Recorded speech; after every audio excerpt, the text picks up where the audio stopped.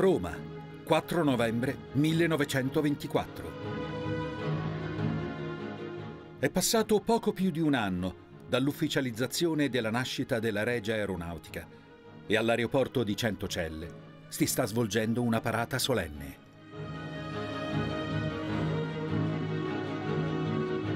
Diverse autorità arrivano a bordo dell'Esperia, il dirigibile passeggeri ricevuto dalla Germania in riparazione dei danni di guerra. Il pubblico si accalca sui prati. La regina Elena di Savoia siede sul palco d'onore. Giunge anche il re, Vittorio Emanuele III, con il suo seguito. Ad accoglierlo il comandante generale Pier Ruggero Piccio e il presidente del Consiglio Benito Mussolini, orgoglioso di quella che considera arma fascistissima e di cui si vanta spesso. Ma la realtà è meno rosea di quello che sembra. È uno schieramento che non rappresenta la realtà, o quantomeno rappresenta un grande sforzo per presentare una struttura potente quando in realtà ci sono molte fragilità.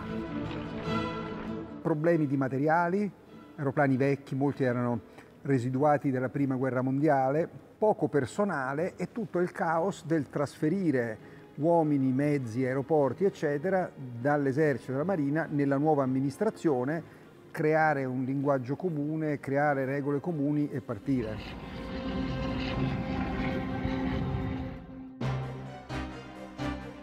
Alle carenze logistiche si sommano problemi politici. Uno dei personaggi di primo piano dell'aeronautica, Aldo Finzi, è travolto dallo scandalo del delitto Matteotti. Il governo è in crisi. Dopo aver nominato sottosegretario il generale di divisione Alberto Bonzani, Mussolini ha bisogno di un forte segnale di cambiamento.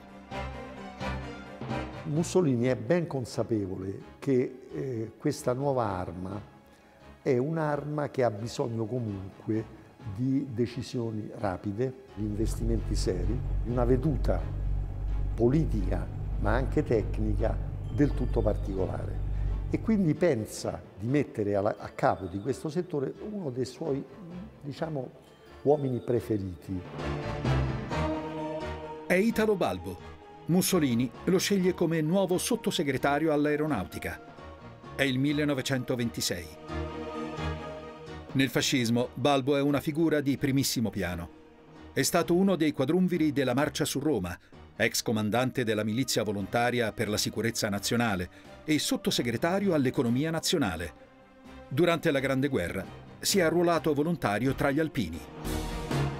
Balbo viene messo lì come diciamo, pacificatore, non ha alcuna esperienza aeronautica, probabilmente lo stesso Mussolini non ha immaginato che eh, il giovane ferrarese ci avrebbe preso gusto, ci si sarebbe divertito avrebbe trasformato questa seccatura in un organismo militarmente efficiente. Balbo si rende conto che il volo affascina gli italiani, anche se è percepito come pericoloso. Pensa ad iniziative spettacolari che possano fare guadagnare consenso alla giovane arma caldeggia il primo volo civile Trieste-Torino. Inventa i battesimi dell'aria per grandi e piccoli. Deve creare consenso intorno alla nuova forza armata, che è la cenerentola tra le forze armate, perché riceve sì e no il 15% dei soldi. Capisce, forse perché da ragazzo l'aveva subito anche lui, il fascino del volo, e eh, capisce l'uso che se ne può fare. Ma non basta. Balbo vuole aumentare la visibilità internazionale dell'aeronautica. Per riuscirci, approfitta del successo della partecipazione italiana all'edizione del 1926 della Coppa Schneider, che si è svolta a Norfolk, negli Stati Uniti. Si tratta della competizione internazionale più famosa dell'epoca, una gara di velocità su percorso triangolare di 250 chilometri. La coppa va alla nazione che riesce a vincere tre volte nel corso di cinque anni. Ne sono protagonisti gli idrocorsa, idrovolanti da competizione, considerati le Ferrari acquatiche dell'epoca. È un momento molto particolare perché vede la competizione proiettarsi da un ambito puramente sportivo a un ambito nazionale. Vi partecipano in momenti diversi la Francia, la Gran Bretagna, l'Italia, gli Stati Uniti, alla fine resteranno solo la Gran Bretagna e l'Italia. Cattura tantissimo l'attenzione, lo fa ancora oggi con il mito dell'alta velocità. Non è un caso che gli idrocorsi italiani avessero un colore rosso fiammante che è molto simile a quello che poi sarà il colore delle Ferrari.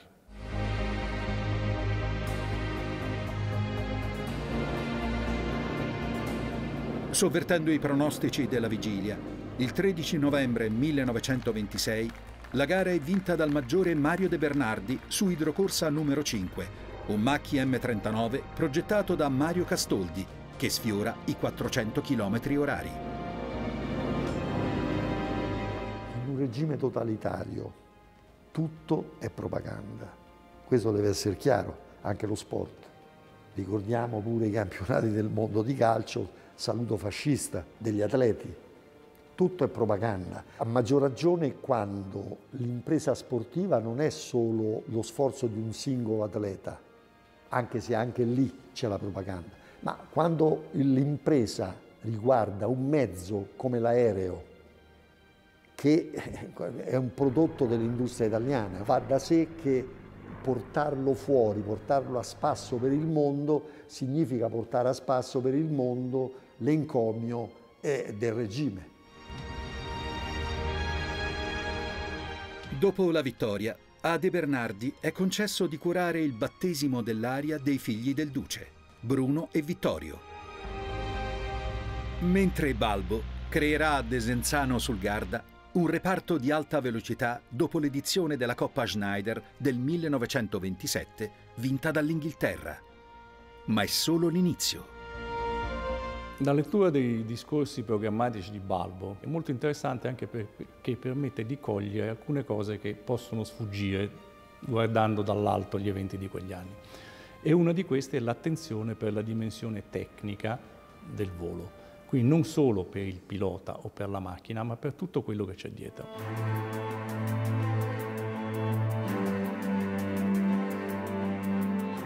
Per ingrossare le fila di specialisti, cioè motoristi, montatori, armieri, marconisti, elettricisti, Balbo apre a Capua una scuola di specializzazione, arruolando 4.200 giovani l'anno.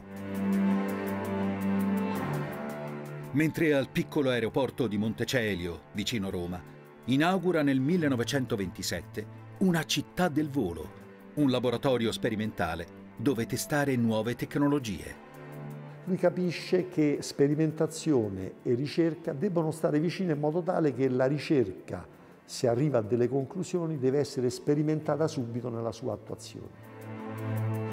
La direzione del Centro Studi ed Esperienze è affidata ad Alessandro Guidoni, capo del genio aeronautico. Ottimo pilota, ottimo ufficiale e ottimo progettista pronto a sperimentare personalmente i nuovi prototipi, morirà durante il lancio di prova di un paracadute. La piccola città di Montecelio sarà chiamata in suo onore Guidonia. L'ultimo biglietto che lascia dice sostanzialmente il paracadute mi sembra buono, bisogna solo spostare la maniglia di apertura, il prezzo pattuito mi sembra un po' alto, è da rivedere, dopodiché salirà sul velivolo, si lancerà col paracadute e morirà. Ma è una delle figure fondanti della Regia Aeronautica ed è significativo che non sia un pilota ma un ingegnere. L'attivismo di Balbo e la sua richiesta di stanziamenti per la Regia gli creano inimicizie. Fa fatica a essere accettato da alcuni aviatori proprio perché lui non è stato aviatore prima quelle che chiama le prime donne masticano un po' amaro perché eh, valutano soltanto l'abilità di volo e non la capacità gestionale. È il caso di Francesco De Pinedo, la star dei ride solitari nelle Americhe. E del generale Umberto Nobile, direttore dello stabilimento di costruzioni aeronautiche, che verrà giudicato dalla commissione d'inchiesta voluta da Mussolini, composta da ufficiali della Marina, come il principale responsabile del disastro del dirigibile Italia, venuto meno ai suoi doveri e al decoro di generale e di comandante.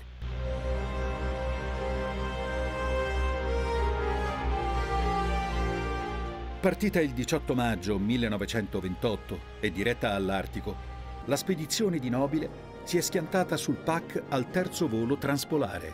Otto uomini dell'equipaggio perdono la vita.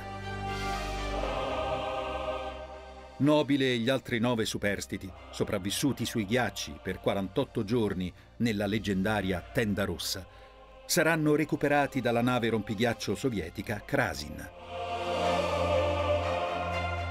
Alla metà degli anni venti era già chiaro che il dirigibile non aveva un grande futuro. Se ne parla come di uno strumento da utilizzare o per i collegamenti a grande distanza o per le esplorazioni in ambienti particolari come quello artico.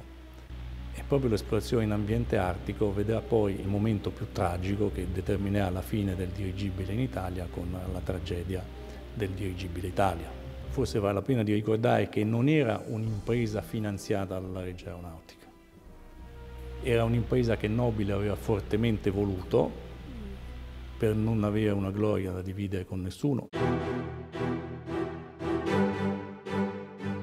La Regia Aeronautica, chi ha in mente Balbo, è diversa.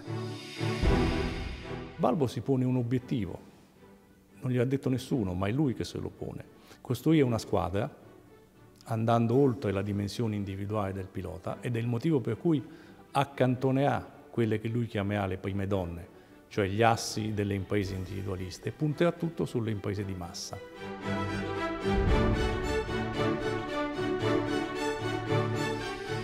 Nessuno ha mai superato i confini italiani con una formazione aerea.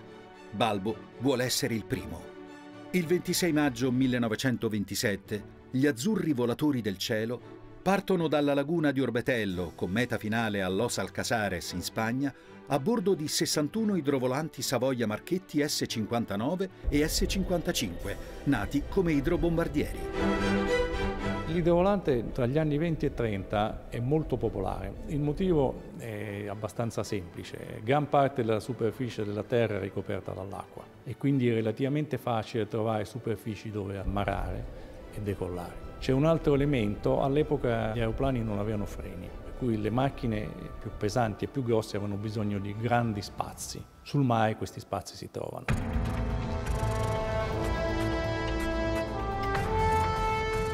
Due anni dopo, un nuovo stormo parte verso oriente da Taranto alle 2 del mattino del 5 giugno 1929 e sorvola Atene, il Bosforo, Istanbul, Varna fino a Odessa in Unione Sovietica.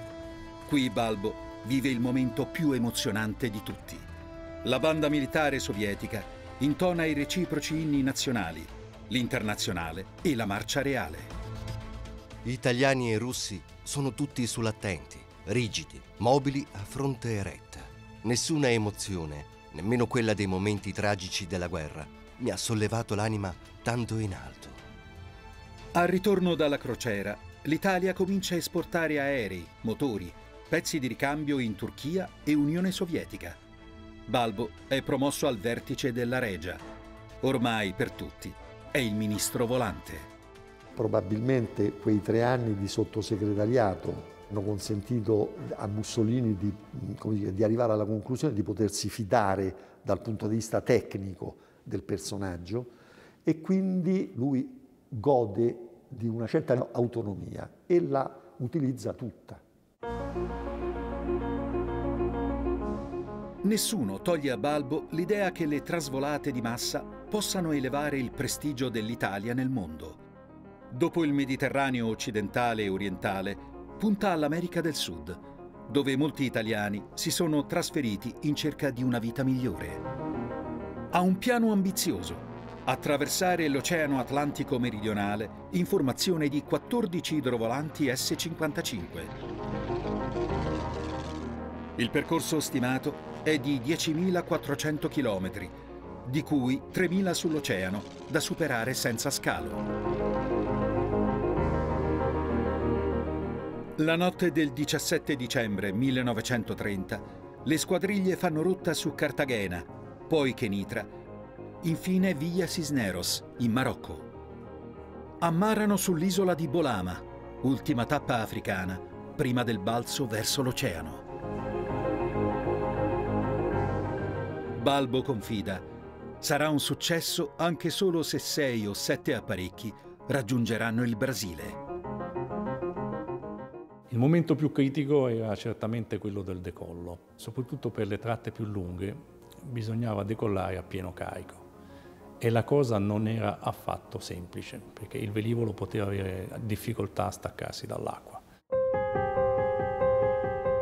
La tappa da Bolama in Guinea Portoghese a Natal in Brasile è la più rischiosa. E quando all'1.29 del 6 gennaio 1931, notte di luna piena, gli idrovolanti spiccano il volo, scoppia la tragedia. L'apparecchio Iboer fallisce l'ammaraggio e precipita in mare. I membri dell'equipaggio Luigi Boer, Danilo Barbicinti, Ercole Imbastari e Felice Nensi muoiono sul colpo. I loro corpi sono divorati da pescecani.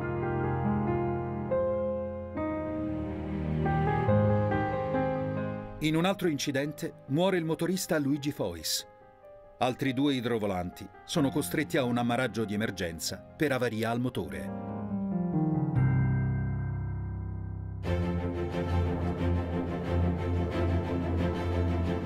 Il 7 gennaio 1931, dopo più di 18 ore di volo consecutivo, lo stormo raggiunge il Brasile e poi ammara nella grande baia di Rio, L'accoglienza è grandiosa.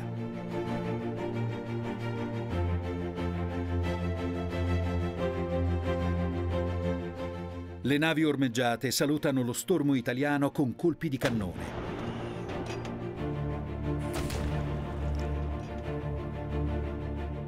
In Italia sono le 20 di sera.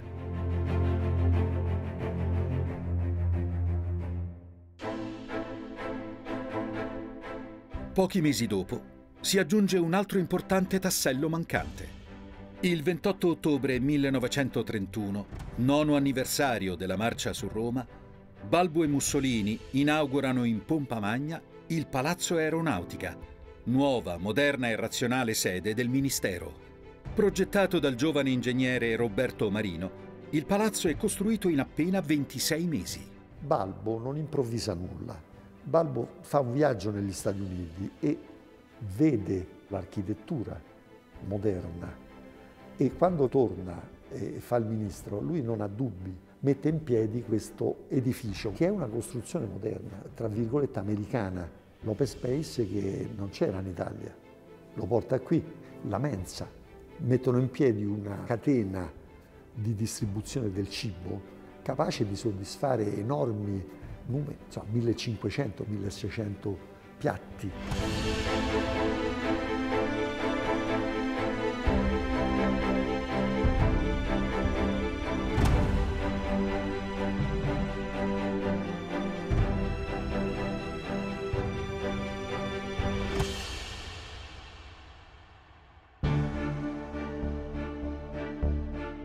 Nonostante i tagli di bilancio imposti dalla crisi economica, Balbo prepara una grandiosa trasvolata per celebrare il decennale della Regia Aeronautica, il raid Orbetello Chicago-New York. Se la precedente crociera in Sud America è stata un azzardo, questa appare una follia. È un'impresa colossale. Per dire semplicemente un numero, i 100 aviatori degli aeroplani italiani, 4 per aereo sostanzialmente, raddoppiano in un colpo solo il numero delle persone che avevano attraversato in volo l'oceano in tutto il mondo fino a quel momento. Balbo è irremovibile. Impara dagli errori passati. Per la crociera del decennale vuole motori più potenti, nuove eliche, nuovi strumenti e nuovi uomini. È un'organizzazione estremamente moderna, basata sulla preparazione e non sulla fortuna. Due anni di addestramento una selezione rigorosa eh, del personale, addirittura cambia tutti gli equipaggi o gran parte di essi rispetto alla crociera già imponente Italia-Brasile del 30-31.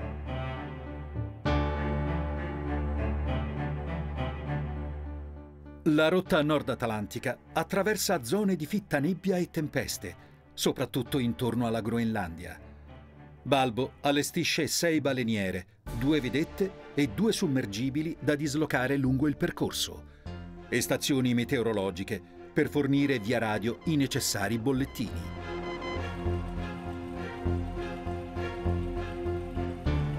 Chiusi dentro la scuola di navigazione d'alto mare di Orbetello, i cento aviatori volontari prescelti, chiamati la Centuria Alata, si sottopongono a durissimi addestramenti.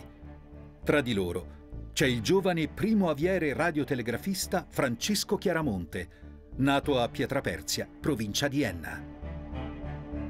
La selezione per entrare all'interno degli equipaggi della crociera del decennale fu durissima, ci furono molte prove pratiche, una delle varie prove pratiche era proprio durante il volo inviare dei messaggi su delle radio che erano state sabotate. Durante le esercitazioni venivano messe delle tendine nere davanti ai piloti e quindi i piloti non potevano vedere fuori e eh, si affidavano solamente agli strumenti di bordo e soprattutto alla radio di bordo.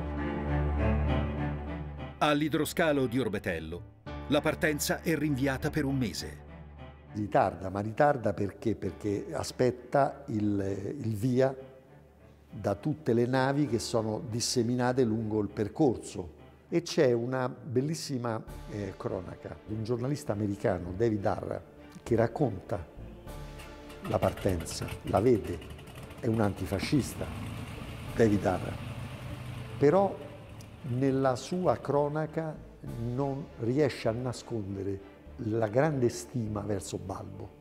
Lui racconta di quelle poche parole quando Balbo dà il via, dice sì, si parte, poche parole, ma di grande incisione.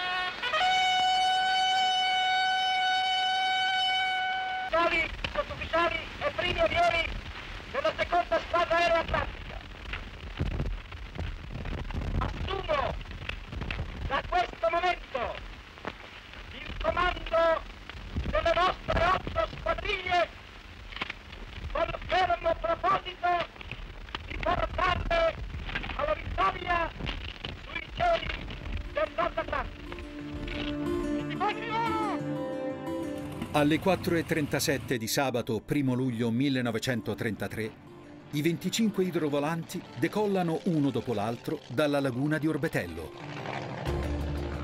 Lo stormo supera incolume le Alpi, mai sorvolate da una formazione di aerei. Poi il fiume Reno. Tutti trattengono il fiato. Lo stesso Balbo ha diciamo, qualche ragionevole dubbio sul suo successo. C'è un'occasione prima della partenza in cui c'era un ufficiale dell'esercito che chiede di avere una foto con dedica di Balbo e lui gli risponde guarda se la faccia firmare anche a tutti i piloti perché non è detto che al ritorno gliela possiamo firmare tutti.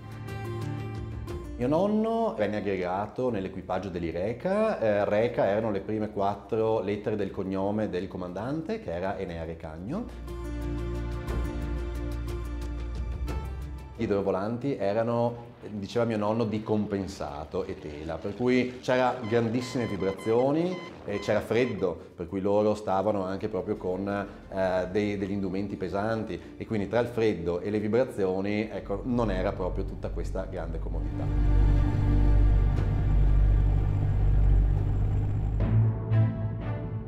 All'ammaraggio ad Amsterdam, il primo grave incidente. L'aereo del capitano Baldini cappotta. Muore il sergente motorista Ugo Quintavalle. È una tragedia, ma il ride deve proseguire. Lo stormo fa rotta verso Reykjavik, in Islanda. E il 12 luglio comincia la traversata verso il Labrador.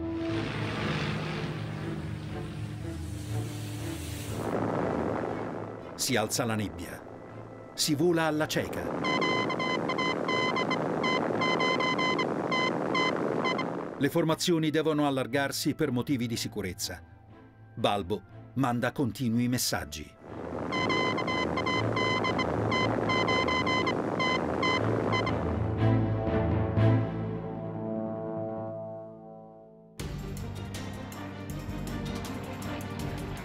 Alle 17.45 del 15 luglio, gli idrovolanti appaiono sui cieli di Chicago. Ammarano sulle acque del Michigan L'accoglienza supera ogni aspettativa. Circa un milione di persone si sono radunate sulle rive del lago per godersi lo spettacolo. Il record non è la trasvolata, il record è che questi mantengono la formazione di squadra per tutto il percorso e si presentano sul cielo di Chicago in formazione di 24 aerei, non sono pochi. Il New York Times parla di armata, è arrivato Balbo con la sua armata aerea. Balbo riceve persino le chiavi della città. I Sioux lo nominano loro capo onorario, ribattezzandolo Aquila Volante.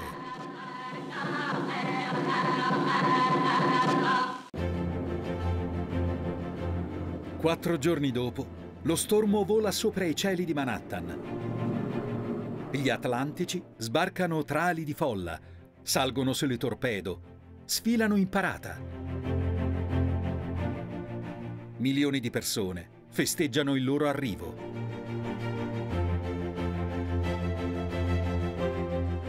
Balbo è una star. Io non posso rispondere con un grido che sgorga spontaneo dal mio cuore Viva gli Stati Uniti d'America, viva New York!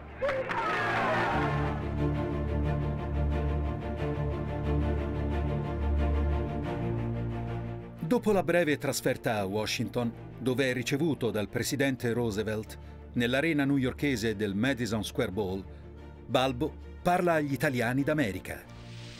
Ai cieli di Roma, ai cieli d'America, siate fieri di essere italiani o connazionali oltreoceano.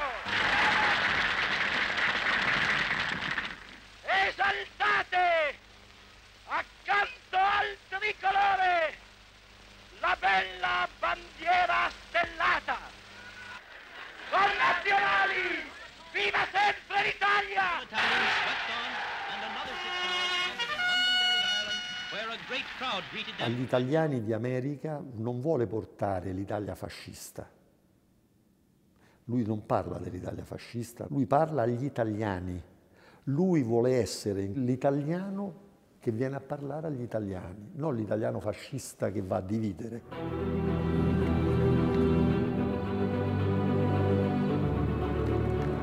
Finalmente, alle ore 20 del 12 agosto 1933, lo stormo ammara compatto alla foce del Tevere. I trasvolatori atlantici sono accolti come eroi.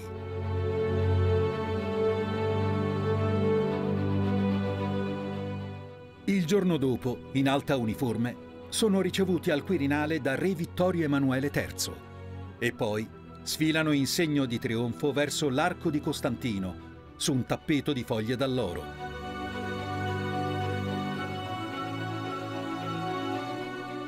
Sul Palatino li attende il saluto del duce.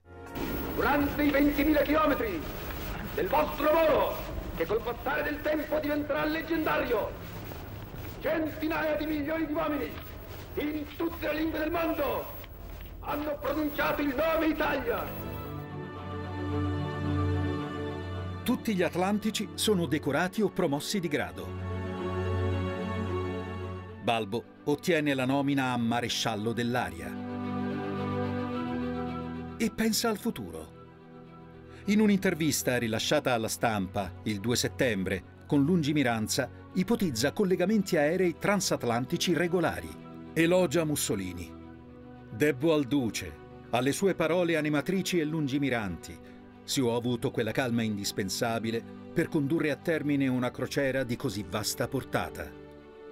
Troppo poco, troppo tardi.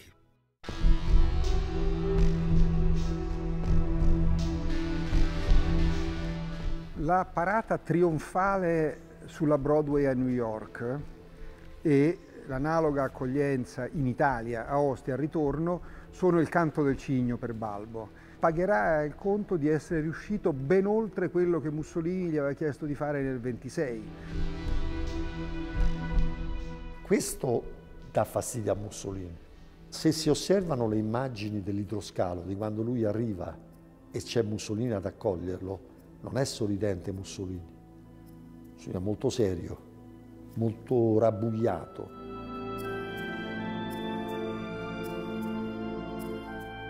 Non è un caso che dopo il trionfo tributatogli in agosto al Foro, nel novembre 1933, esattamente sette anni dopo essere stato nominato, Balbo viene promosso governatore della Libia. Non tutti la considerano una promozione. Balbo la considera una destituzione, non c'è dubbio, i suoi eh, orizzonti erano altri e comunque Andare in Libia significa per Mussolini allontanarlo dalla cosiddetta stanza dei bottoni e questo voleva Mussolini.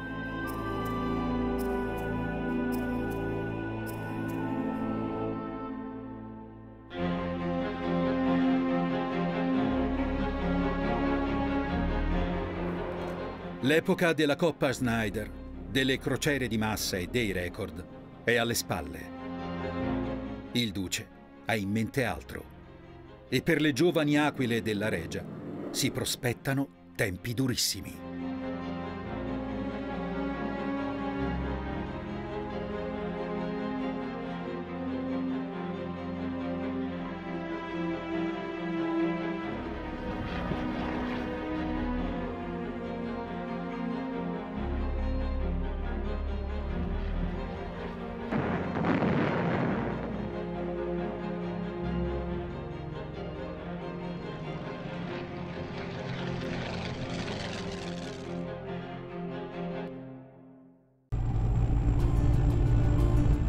Nell'estate del 1933, al termine della trionfale crociera aerea del decennale, Italo Balbo viene celebrato e acclamato per le strade di New York.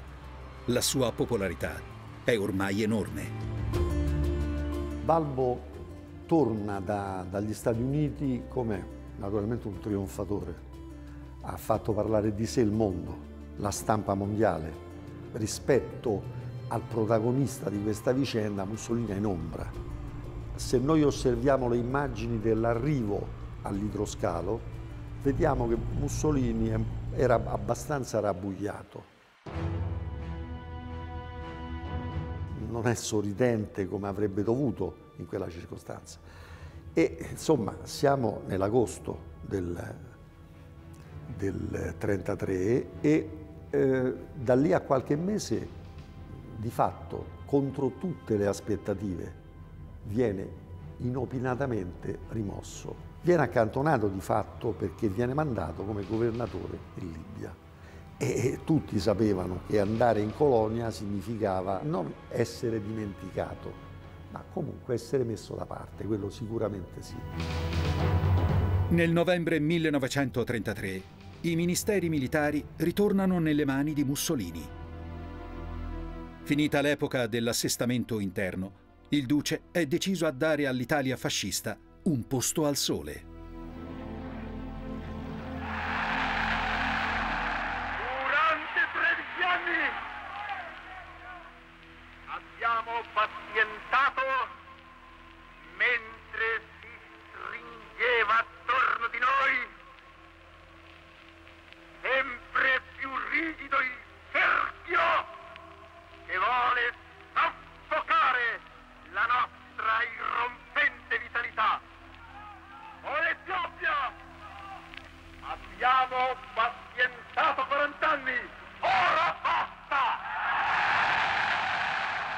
Queste solenni parole, pronunciate davanti a una folla oceanica, il 2 ottobre 1935 Mussolini annuncia l'imminente guerra contro l'Etiopia alle 5 del mattino del giorno seguente, le truppe italiane dell'Eritrea, comandate dal generale Emilio De Bono, passano il fiume Mareb, che segna il confine tra la colonia italiana e l'impero d'Etiopia.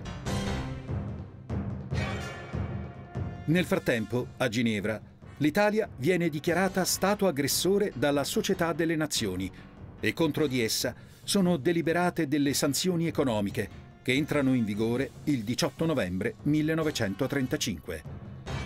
Prevedono l'embargo sulle armi e le munizioni, il divieto di esportare all'estero prodotti italiani e di importare in Italia materiali giudicati utili all'industria di guerra.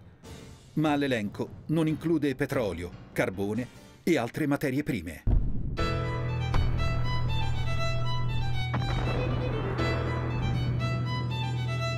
La campagna d'Etiopia viene preparata e combattuta come un conflitto moderno, mediante un ampio utilizzo di carri armati, di colonne motorizzate e dell'aviazione. È la prima guerra che viene affrontata dalla Regia Aeronautica.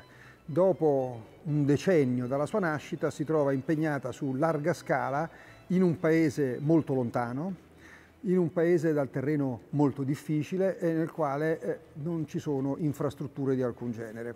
Da questo punto di vista è una prova di maturità considerevole per la giovane forza armata. È una guerra meticolosamente preparata e per esempio l'aeronautica ha creato nuove unità, si è quasi raddoppiata creando nuovi stormi e ha eh, ammodernato molto il proprio equipaggiamento con tanti aeroplani costruiti proprio per quella guerra.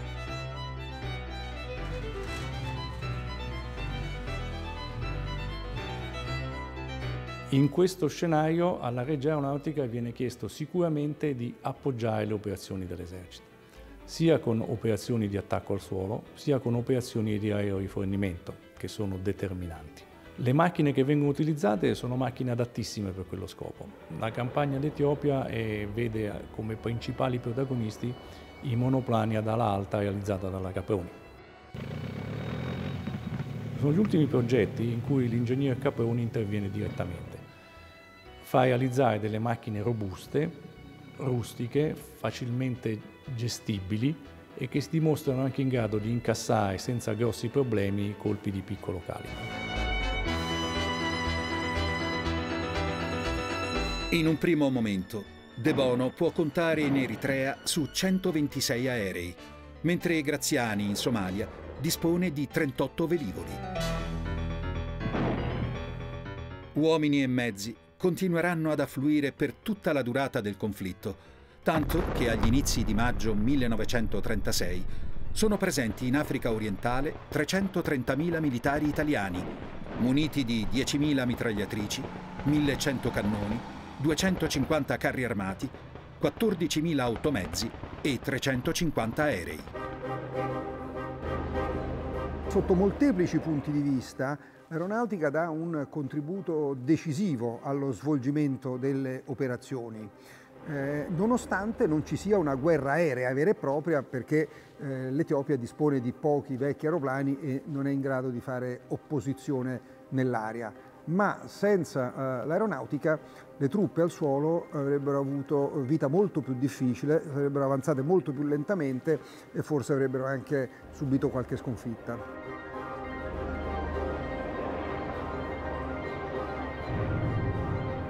Gli etiopi rispondono all'invasione, rispondono in maniera valorosa. L'esercito etiope è un esercito, anche se si basa su un concetto medievale dello Stato, quindi tribale, ma per quanto riguarda poi la coscienza del pro della propria terra, è una coscienza molto forte. Quindi loro trovano una resistenza che è più forte di quanto previsto. La Regia Aeronautica effettua in Etiopia voli di ricognizione, trasporto e bombardamento. Questi ultimi vengono effettuati a volte anche ricorrendo a sostanze chimiche, in particolare i gas asfissianti. Il protocollo di Ginevra, firmato nel 1925, aveva proibito l'impiego in guerra di armi chimiche e batteriologiche. Nel momento più difficile, quando la controffensiva ehm, etiopica sembra sul punto di far cedere l'esercito, si inizia l'uso delle armi chimiche, sia da parte dell'artiglieria dell'esercito, sia da parte dei bombardieri dell'aeronautica.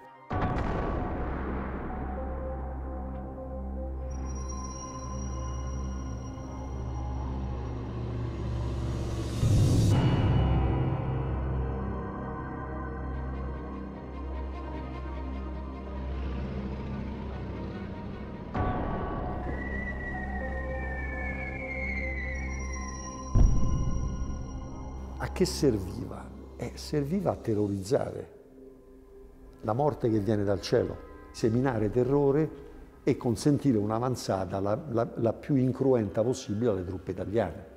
E il, il, le scene di morti seminati senza combattere, seminati sul terreno, eh, insomma faceva effetto.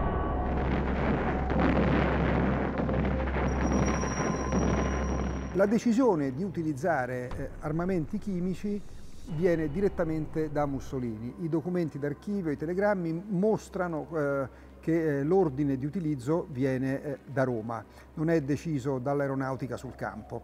L'aeronautica decide in quali luoghi, in quali punti, eccetera, dal punto di vista della situazione tattica, ma la decisione di impiegarli è eh, politica e serve a evitare una umiliante sconfitta dell'esercito a terra sotto i contrattacchi etiopici.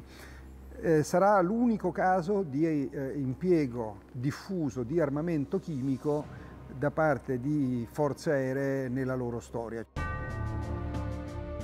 Nel febbraio 1936 Badoglio sconfigge le forze etiopi nella battaglia dell'Amba Aradam. Durante la ritirata, gli abissini subiscono perdite pesantissime da parte dell'aviazione italiana, che fa anche largo uso di bombe alliprite e di altri gas asfissianti. Poi, tra la fine di febbraio e gli inizi di marzo, le armate del Negus vengono sconfitte nella battaglia dello Shireh e sono ripetutamente bombardate dall'aviazione durante la ritirata.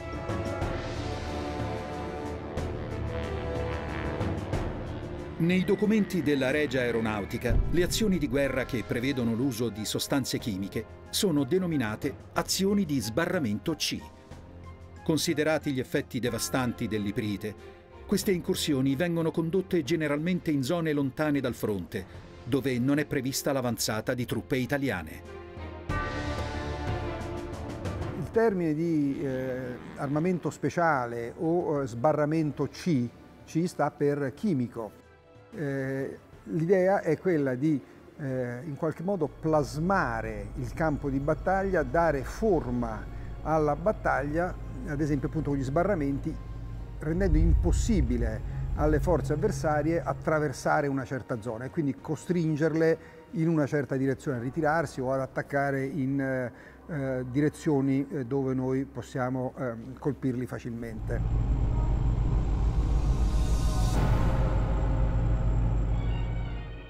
Sua Eccellenza De Bono ha consegnato le medaglie al valore agli aviatori della squadriglia disperata.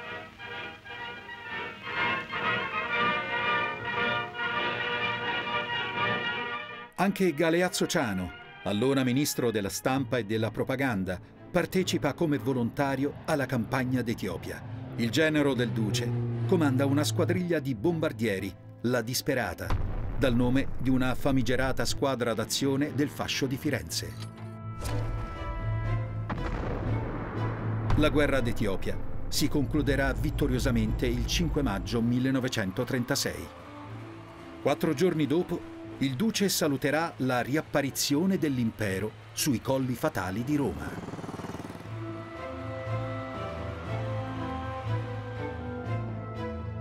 Fin dal 1936 lo Stato Maggiore dell'Aeronautica aveva avviato il programma R da attuarsi entro il 1940. La lettera R stava a indicare la parola rinnovamento, in previsione di una modernizzazione di tutta l'arma aeronautica. Alla metà degli anni 30 l'aeroplano cambia, passa dal biplano al monoplano, dal legno e tela al metallo, i carrelli diventano retratti, l'aereo diventa un'altra cosa, nasce l'aereo moderno. E questo fa sì che le fabbriche si debbano rinnovare, che i progettisti debbano pensare diversamente e quant'altro. Questo accade in quasi tutti i paesi alla metà degli anni 30. L'Italia perde quel treno perché è impegnata in guerra, è costretta a massimizzare quello che c'è. Quindi la trasformazione italiana eh, inizia con qualche anno di ritardo. Il piano di espansione dei 3.000 aeroplani o piano R faticherà a essere portato avanti proprio perché ehm, centinaia di aeroplani assorbiti dalla Spagna hanno la precedenza.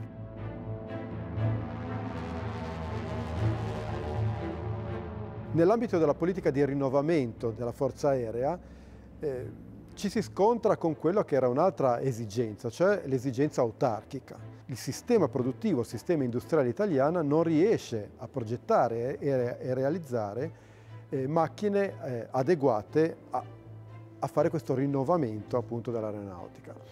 Eh, tutto questo si traduce in uno spezzettamento delle commesse. Quindi eh, ci sono aeroplani commissionati a varie industrie nazionali e ci sono motori commissionati a varie industrie nazionali. Il problema sarà proprio quello di mettere insieme le cellule con i motori. E questo comporterà dei problemi di manutenzione e dei problemi di affidabilità notevoli, proprio perché l'estrema eterogeneità delle, della linea di volo eh, non sarà facile da gestire.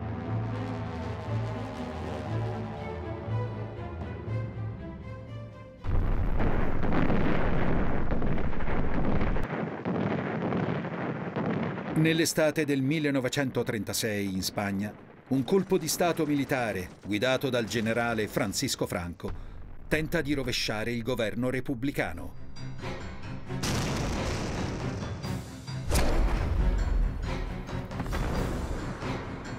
Non appena finisce la guerra d'Etiopia inizia l'avventura spagnola. Anche qui eh, eh, l'aviazione gioca un suo ruolo sin dall'inizio Anzi, eh, sappiamo che la, la sedizione franchista inizia in Marocco e poi si sposta sul continente. Se Franco e il suo quartiere generale vengono spostati in Spagna lo si deve al trasporto aereo che mette a disposizione immediatamente Mussolini. Quindi Mussolini è subito un protagonista. E furono queste le macchine che vigilarono il passaggio dello stretto, da Ceuta a Algeciras, dei 4.000 marocchini e legionari del Terzio, il primo corpo di spedizione del generale Franco. A Madrid, Barcellona e in altre città, le forze popolari, guidate dai partiti di sinistra, reagiscono con estrema energia e organizzano una strenua resistenza. Inizia una lunga e sanguinosa guerra civile. Gli insorti chiedono subito ai governi di Roma e di Berlino sostegno militare. Il contributo dell'aeronautica italiana e poi della Luftwaffe allo sforzo dei franchisti è determinante. Perché sono gli S-81 che consentono il trasporto delle truppe dal Marocco alla Spagna a rinforzo delle guarnigioni che erano insorte contro il governo di Madrid, non solo costituendo un ponte aereo, ma anche allontanando dall'area dello stretto di Gibilterra eh, la flotta repubblicana e consentendo quindi il trasporto via mare di buona parte dell'esercito spagnolo in Marocco.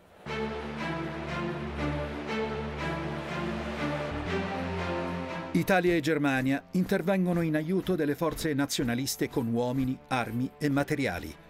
Hitler invia in Spagna la Legione Condor, costituita da reparti d'aviazione e da mezzi corazzati. Mussolini, in un primo momento contrario a partecipare alla guerra spagnola, decide di affidarsi a un vero e proprio corpo di spedizione, composto in gran parte da volontari. Viene denominato CTV, Corpo Truppe Volontarie.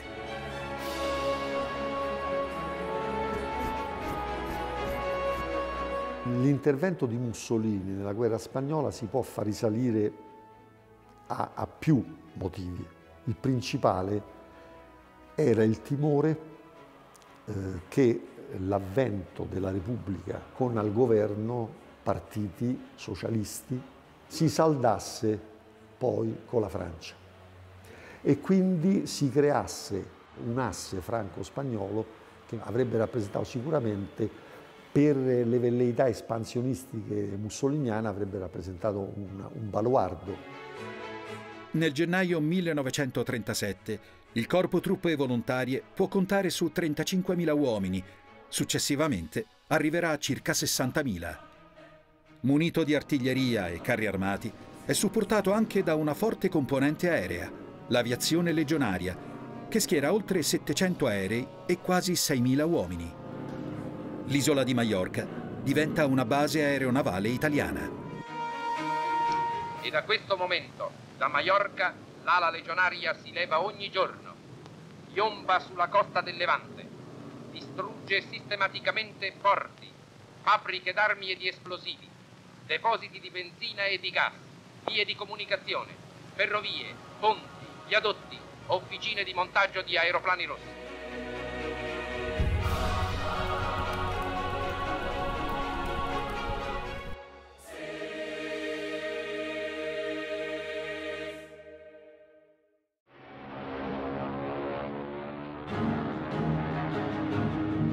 Due velivoli più utilizzati dagli italiani in Spagna sono il trimotore da bombardamento S-81, che è una macchina che entra in linea nel 1935, è una macchina per l'epoca moderna, ma che dal punto di vista della struttura è già superata, perché è una struttura a traliccio largamente rivestita in legno e tela.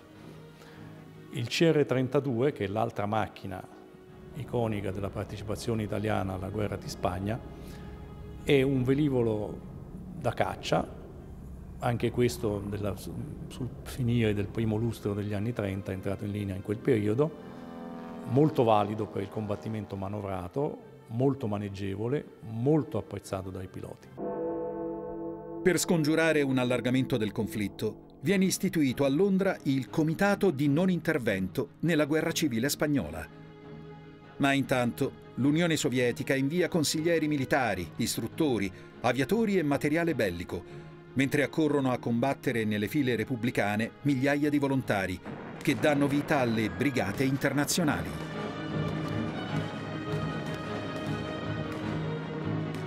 Nel febbraio 1937 il corpo di spedizione italiano partecipa all'offensiva su Malaga, che viene conquistata dai nazionalisti. Il mese dopo, nel tentativo di aprirsi la strada verso Madrid, le truppe fasciste sono sconfitte nella battaglia di Guadalajara. Durante quei duri scontri, il contributo delle brigate internazionali sarà decisivo. In quei giorni, per la prima volta, gli italiani si troveranno a combattere su due fronti contrapposti. Uno scontro passato alla storia non tanto per la sua importanza militare, quanto per il suo grande valore simbolico. Il 31 marzo 1937, Durango, un'antica cittadina nel cuore dei Paesi Baschi, nodo stradale e ferroviario tra Bilbao e il fronte, subisce un pesante bombardamento da parte dell'aviazione legionaria italiana. È da Logrogno che gli S-81 del bombardamento pesante, pugno di ferro dell'aviazione legionaria, partono ogni giorno verso gli obiettivi lontani. Questo apparecchio è il veterano del Terzio, uno dei nove che nell'agosto del 36 iniziarono la guerra. Gli attacchi dei bombardieri Savoia Marchetti durano quattro giorni e in quell'occasione, per la prima volta, viene coinvolta duramente anche la popolazione civile. La città viene rasa al suolo. Il tragico bilancio parla di oltre 300 morti. Molti perdono la vita mentre stanno assistendo alle funzioni religiose della Settimana Santa.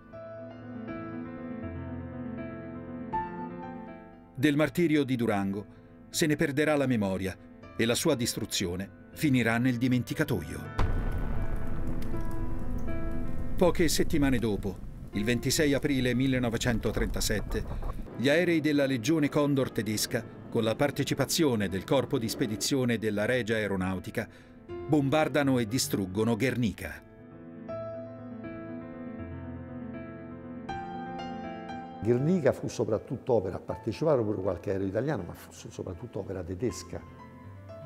La tecnica del bombardamento, del volo ad abbassarsi e bombardare degli Stukas, c'era tutta una tecnica che sperimentò Hitler lì per poi inaugurarla sostanzialmente sul fronte francese durante le prime fasi della guerra e poi nei bombardamenti Russia. Ispirandosi al dramma della cittadina basca, Pablo Picasso realizzerà il suo celebre Guernica, una grande opera capace di ritrarre il lato più oscuro e crudele della storia, che verrà esposta nel padiglione spagnolo dell'Esposizione Universale di Parigi del 1937. Stavolta l'orrore della guerra verrà ricordato per sempre. Durango e Guernica vengono colpite nel quadro di una serie di operazioni che potremmo definire di interdizione, cioè bloccare i movimenti delle forze, in quel caso le forze basche, distruggendo ponti e punti di passaggio obbligato. Guernica è uno di questi casi. E gli effetti del bombardamento furono quelli che furono anche perché la precisione dei bombardieri dell'epoca era quella che era, cioè molto limitata. L'anno successivo è Barcellona a subire la stessa triste sorte. Dal 16 al 18 marzo 1938 la città catalana è sottoposta a 41 ore di terribili bombardamenti da parte della Legione Condor e dell'aviazione legionaria italiana.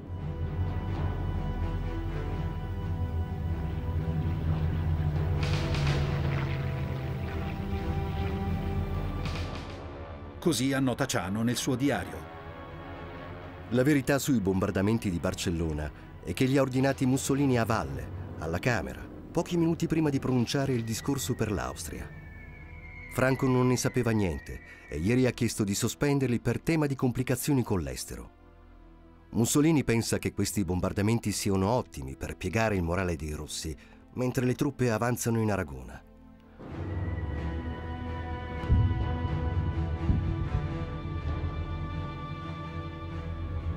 Barcellona viene colpita dall'aviazione legionaria eh, sia perché è un porto importante, sia perché è un importante centro demografico e industriale, come recitavano i documenti del tempo in materia di impiego del potere aereo, quindi colpire i centri demografici e industriali dell'avversario, sia perché nel marzo del 1938 è oggetto, potremmo definire, di un esperimento di ehm, bombardamento duettiano. Colpire cioè uno, un centro importante dell'avversario per demolirne la volontà di combattere. Dopo le frecce nere, verdi e azzurre, rappresentate da altrettanti battaglioni, ha inizio la sfilata delle artiglierie e degli aggruppamenti carristi, sintesi folgorante della folgorante guerra moderna. Dopo quasi tre anni di sanguinosi combattimenti, il 1 aprile 1939 la guerra termina con la vittoria delle forze di Franco e la capitolazione della Repubblica Spagnola. L'apporto militare fornito dall'aviazione italiana è stato decisivo, ma per la Regia Aeronautica è ora tempo di bilanci economici e tecnologici. Tutte le forze aeree europee negli anni tra le due guerre devono lottare per la loro indipendenza combattendo per una quota maggiore dei bilanci. Del resto è logico, noi abbiamo un determinato quantitativo di risorse che prima veniva diviso in due. Il quantitativo di risorse rimane invariato, adesso va diviso in tre.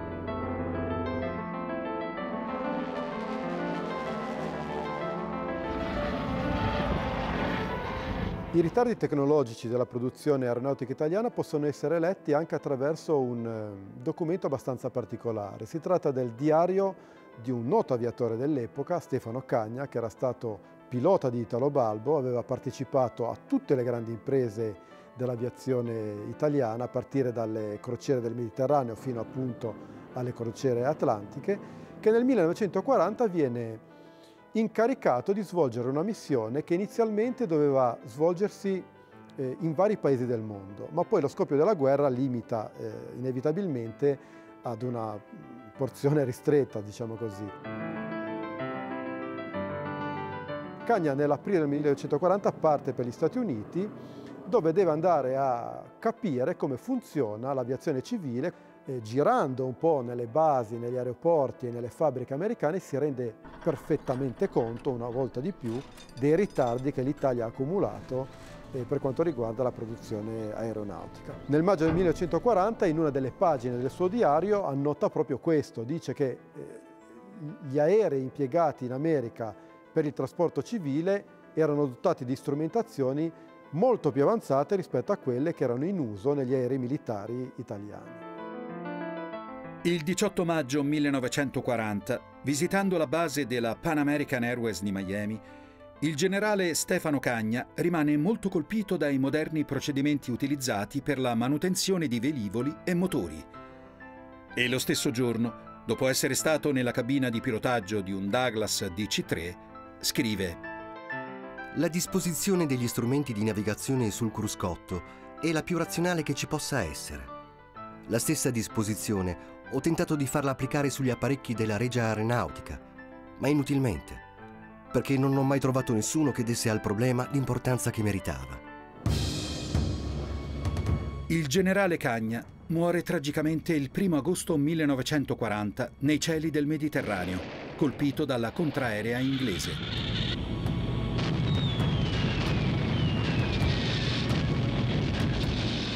Da circa due mesi, dal 10 giugno, l'Italia è entrata nel secondo conflitto mondiale al fianco della Germania nazista.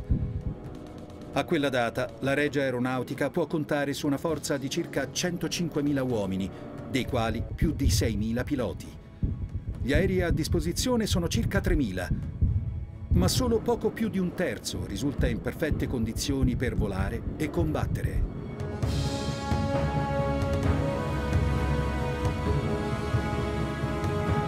Difficile in questa situazione riuscire ad affrontare la sfida di una guerra globale come il secondo conflitto mondiale. Per l'Italia sarà una guerra disastrosa, una tragedia che provocherà centinaia di migliaia di morti, distruzioni e sofferenze.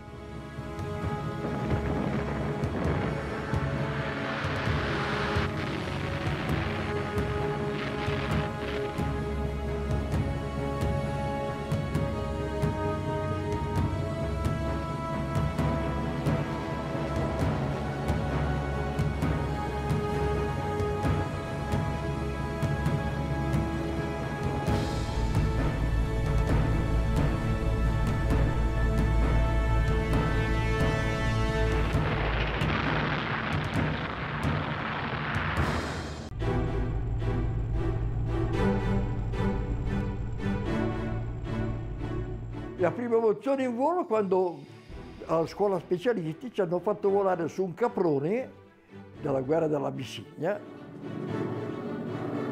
Per me è stata un'emozione molto, molto bella. Quello che mi è piaciuto più di tutto è stato l'S-79, volando sul, sul gommo.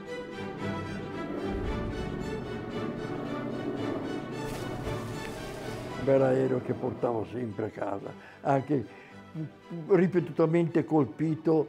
Ho visto aerei che venivano a casa che mancava un pezzo d'ala. A parte che avevamo dei piloti anche capaci di, di poterlo guidare.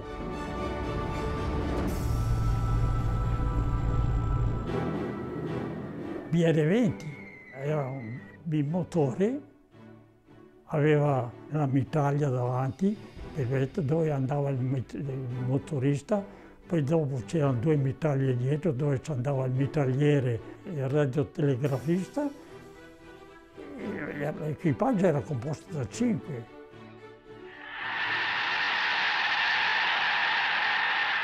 La dichiarazione di guerra è già stata consegnata agli ambasciatori. Il 10 giugno 1940 l'Italia entra nel secondo conflitto mondiale accanto alla Germania. Per il Duce la guerra durerà poco, ma fa male i suoi calcoli e sarà una catastrofe. Le forze armate italiane, già provate dalla guerra di Spagna e dalla conquista dell'impero, sono del tutto impreparate.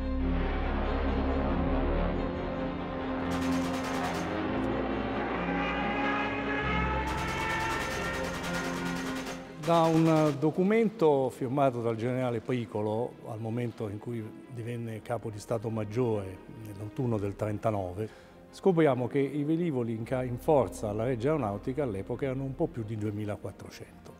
Scopriamo anche che circa 800 di questi erano considerati da Pericolo come bellicamente efficienti.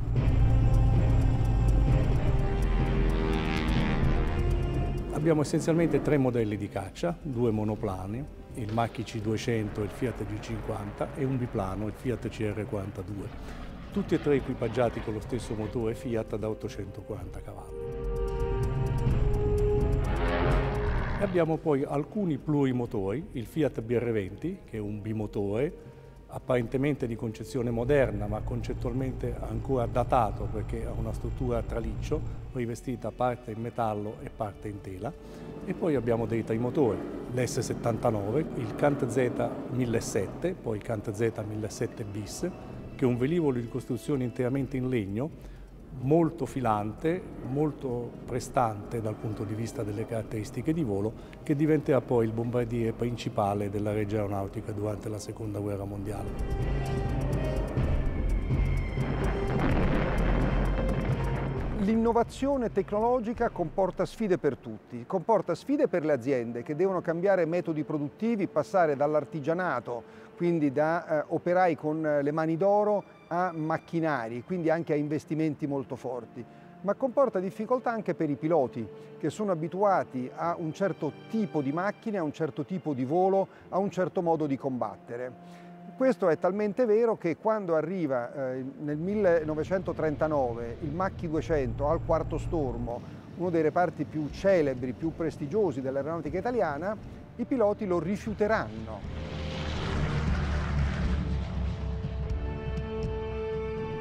Su ordine del capo di Stato Maggiore, con la militarizzazione delle compagnie civili, verranno destinate alle comunicazioni le compagnie aeree Ala Vittoria, Lati e Ali e reparti da trasporto destinati ad assicurare una rapida alimentazione delle truppe al fronte.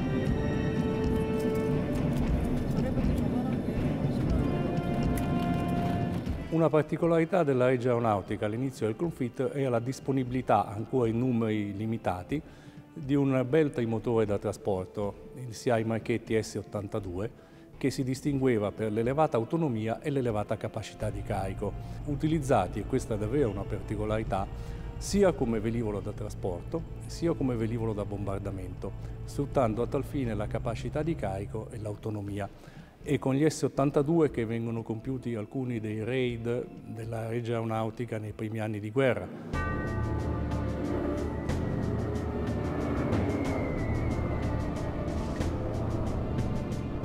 Negli anni, nei tre anni della guerra italiana, l'aeronautica è presente su tutti i fronti. Quello principale è l'Africa settentrionale e ad esso è strettamente legato il mare, il Mediterraneo, perché tutto quello che c'è in Africa deve arrivare via mare. Quindi l'aeronautica è impegnata sia per contrastare la flotta britannica e bloccare diciamo, i rifornimenti, sia per proteggere i nostri rifornimenti e far sì che arrivino. Da questa guerra aeronavale nasce addirittura una nuova specialità, quella degli aerosiluranti, che poi diventerà famosissima.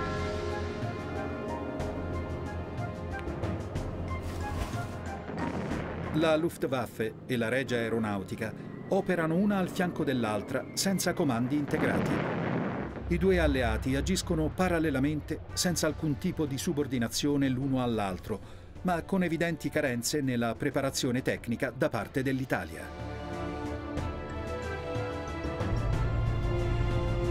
La Regia Aeronautica ha numerosissime scuole di volo in tutta Italia. Il programma addestrativo è un programma di circa 100-120 ore di volo, che non sono moltissime, sono senz'altro meno di quelle che si facevano negli altri paesi, sia alleati sia avversari. Soprattutto erano pochissime le ore di volo fatte sui tipi operativi, cioè sugli aerei che poi si sarebbero trovati al fronte sui quali fare la guerra. Questo vuol dire che in pratica un nuovo pilota quando arrivava doveva imparare a conoscere la sua macchina già mentre stava combattendo.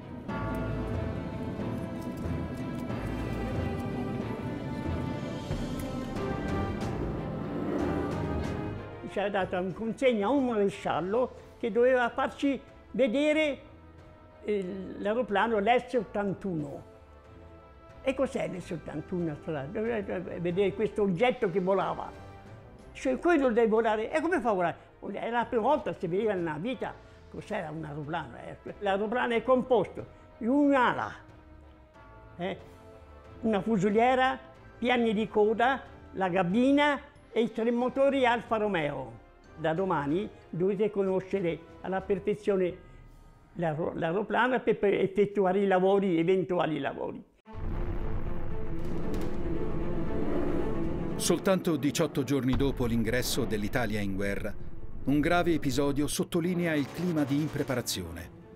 Il 28 giugno 1940, Italo Balbo, ex ministro dell'aeronautica e poi governatore della Libia, muore di ritorno da Tobruk a bordo di un SM-79, abbattuto per sbaglio dalla contraerea italiana.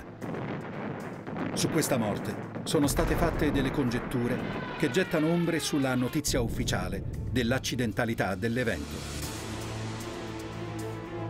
si pensò a un premeditato omicidio di Balbo, la maniera di Mussolini di toglierselo di torno. In realtà sembrerebbe si sia trattato di un incidente, perché c'era stata una battaglia, c'era stato un bombardamento degli inglesi. Questo aereo di Balbo, erano due aerei in realtà, appaiono a bassa quota e sbucano improvvisamente dalle dune quindi la, la, questa nave, questo incrociatore, il San Giorgio, dal mare, li prende per due aerei ancora inglesi, quindi per una coda della battaglia e spara. Balbo viene colpito in pieno e praticamente l'aereo esplode, esplode in volo. Il 10 agosto 1940 la Luftwaffe inizia l'attacco contro l'Inghilterra partecipa anche un corpo aereo italiano per combattere la Royal Air Force. Furono selezionati due stormi da bombardamento montati su bimotori Fiat BR-20. Furono selezionati dei reparti da caccia, uno stormo da caccia montato su un Fiat G50 e Fiat CR42 e fu mandata anche una squadriglia da ricognizione strategica su Canta Z1007. Il problema della quasi totalità di queste macchine e anche di buona parte degli equipaggi e che non erano preparate per operare nelle condizioni climatiche dell'Europa centro-settentrionale. Dobbiamo ricordare che il Fiat BR20, per quanto relativamente moderno, non aveva attrezzature per la navigazione senza visibilità e non aveva nemmeno una protezione antighiaccio che gli consentissero di sfidare alle medie alte quote le condizioni climatiche di quelle latitudini. Le azioni condotte furono relativamente poche, furono una mezza dozzina di incursioni durante le quali si ebbe qualche contatto con la Royal Air Force che non andò a finire in maniera molto positiva per i nostri aviatori data la differenza di prestazioni tra i velivoli che si confrontavano.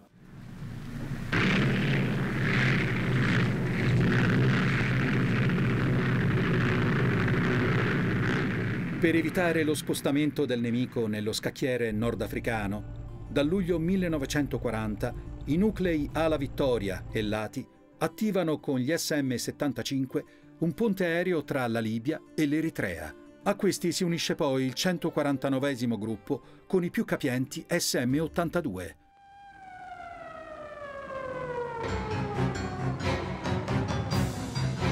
Le forze aeree si concentrano poi su Malta e Alessandria d'Egitto, che insieme a Gibilterra rappresentano le vie principali di comunicazione delle forze alleate in Medio Oriente.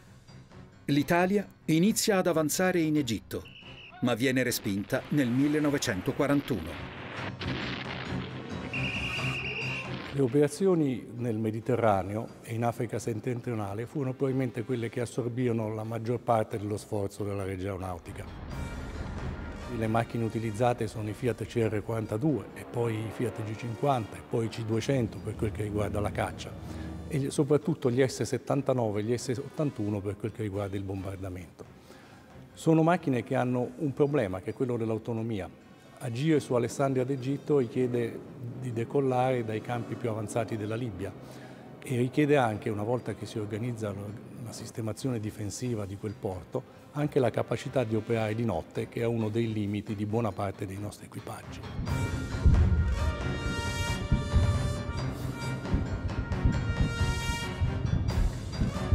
La prima mossa che bisognava fare era quella di occupare Malta, perché Malta era poi il ricovero della flotta inglese. La non conquista di Malta avrebbe reso pericolosissime le rotte della flotta italiana, in particolare la flotta che doveva portare aiuto alle truppe schierate in Nord Africa. Con il Nord Africa esce fuori diciamo, la preoccupazione di Mussolini di arrivare a una resa inglese senza aver sparato un colpo. Da qui le pressioni che comincia a fare su Graziani per la famosa avanzata, ma questa avanzata è la causa poi della sconfitta successiva.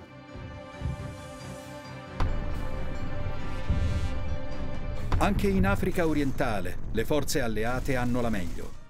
In Eritrea cadono Asmara, Amba Alagi e Gimma. A Gondar gli italiani resistono, ma nel novembre del 1941 devono arrendersi. I reparti della Regia Aeronautica esauriscono tutta la loro dotazione in una lotta impari con il nemico. Per alleviare la grave situazione sanitaria, vengono organizzati voli non stop con SM-75 da Bengasi con destinazione Gondar e poi Djibouti. Missioni sovrumane di 10.000 km e 40 ore di volo. L'ultimo volo di un velivolo da caccia a Gondar è di pochi giorni prima della caduta, quindi di novembre del 41. Fu fatto da un sottotenente pilota a cui è stato affidato il compito di attaccare un aeroporto britannico non lontano da Gondar e poi cercare di raggiungere Djibouti, farsi internare nel caso rientrare in Italia se con i suoi mezzi ci fosse riuscito a fuggire. Non ci riuscì.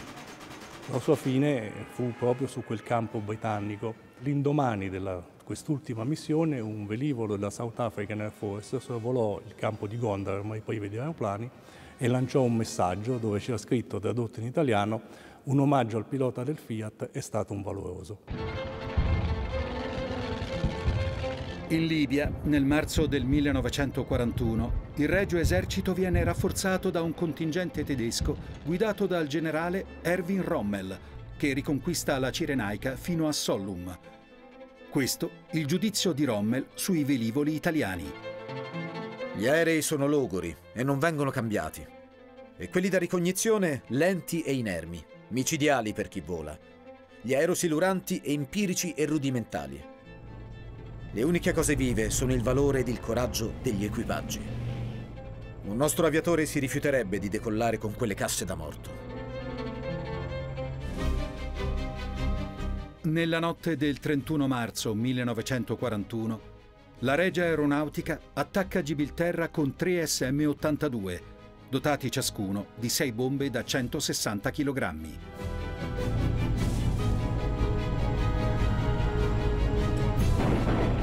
Ma non si combatte solo in Africa e nel Mediterraneo. Pochi mesi dopo, nel giugno del 1941, la Germania invade l'Unione Sovietica.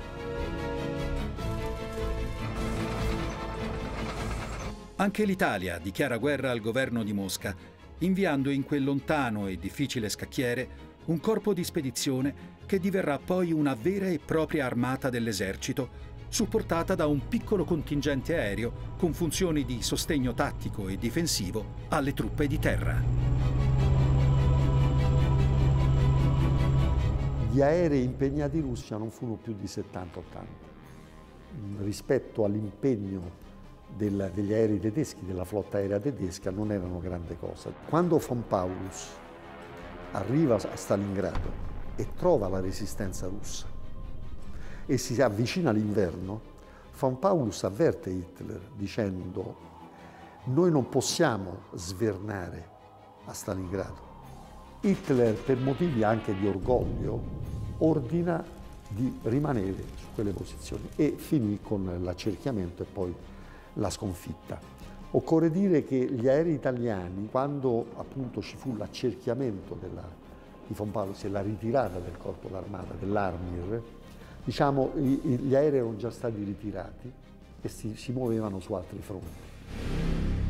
L'aviazione non cessa le azioni distruttive sul fronte e sul territorio greco. Prima di invadere l'Unione Sovietica nel 1941, la Germania occupa la Jugoslavia e la Grecia. Tutto l'Egeo passa sotto il controllo dell'asse.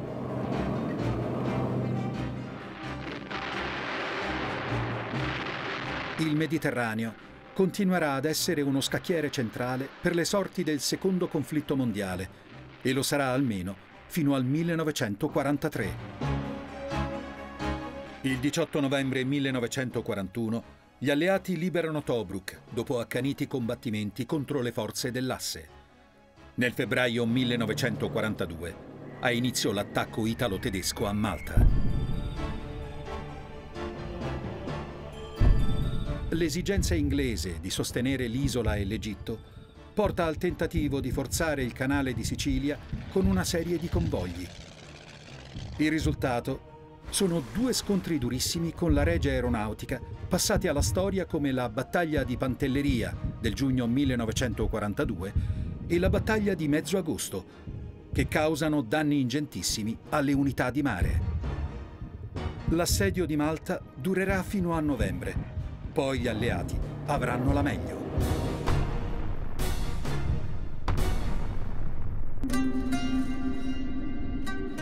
Nel 1941 entra in linea il velivolo da caccia Macchi C-202 e viene destinato in Africa settentrionale e in Sicilia per operare in quelli che sono all'epoca i due principali teatri operativi della Regia Aeronautica, l'Africa settentrionale appunto e Malta.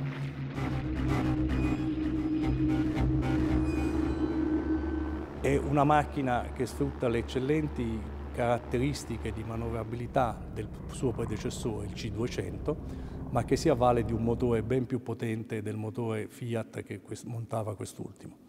Il Piaggio P108 è l'altra macchina significativa, avrebbe dovuto essere il bombardiere strategico con cui dare concretezza alle prospettive di proiezione a lunga distanza del potere aereo.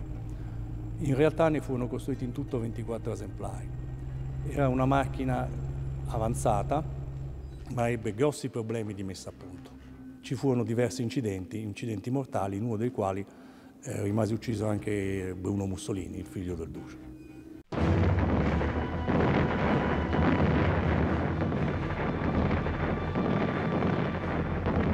Nella primavera del 1943, la Regia Aeronautica tenta in ogni modo e con gravi perdite di sostenere il fronte nordafricano con rifornimenti, evacuando feriti e civili e attraverso l'impiego di aerosiluranti contro le navi alleate e dei caccia in appoggio alle truppe di terra.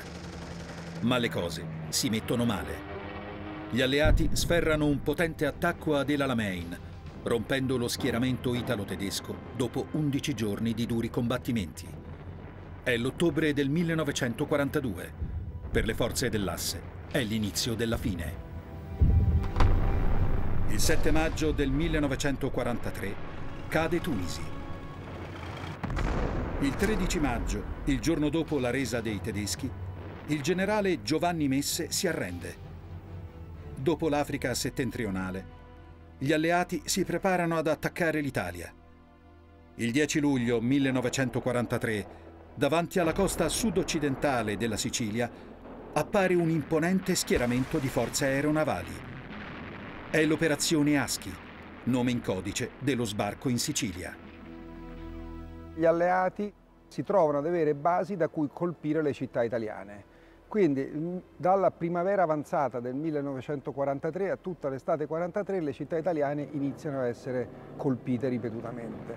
Questo è un forte cambiamento nella guerra aerea che dà più importanza ancora alla caccia, alla difesa del cielo ed evidenzia alcune carenze tecnologiche nostre quali la mancanza del radar, la mancanza di centrali di coordinamento delle intercettazioni e quindi rende molto difficile proteggere le città italiane, molte delle quali vengono colpite, Torino la più bombardata, Milano perché centro industriale e poi arriviamo al 19 luglio 1943 anche Roma per la prima volta e il bombardamento di Roma è uno degli eventi psicologici che accelerano la caduta del fascismo il 25 luglio. La drammatica situazione militare fa collassare il regime fascista. Il 25 luglio 1943 il re Vittorio Emanuele III fa arrestare Mussolini a seguito del voto sfavorevole del Gran Consiglio del Fascismo il maresciallo Badoglio viene nominato capo del governo. Gli alleati avevano promesso non lo sbarco come poi avvenne a Salerno, eccetera, ma a nord di Roma, proprio per non permettere ai tedeschi che stavano affluendo numerosi da nord di arrivare a contatto con Roma e con le truppe italiane. Ma che cosa poi accadde in realtà? Gli alleati si resero conto che era tardi, che i tedeschi avevano ormai capito e che stavano rafforzando fortemente le posizioni attorno a Roma, quindi non potevano eh, come dire, rispettare gli impegni presi.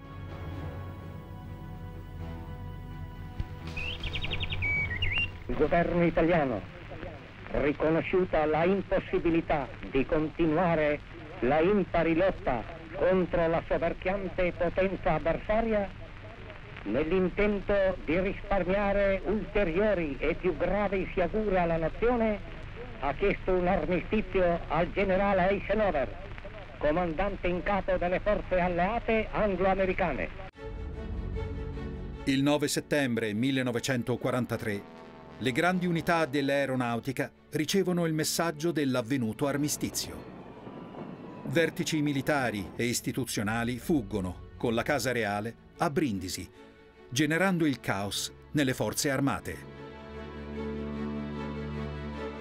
Nel territorio metropolitano continentale, l'esercito italiano si disintegra.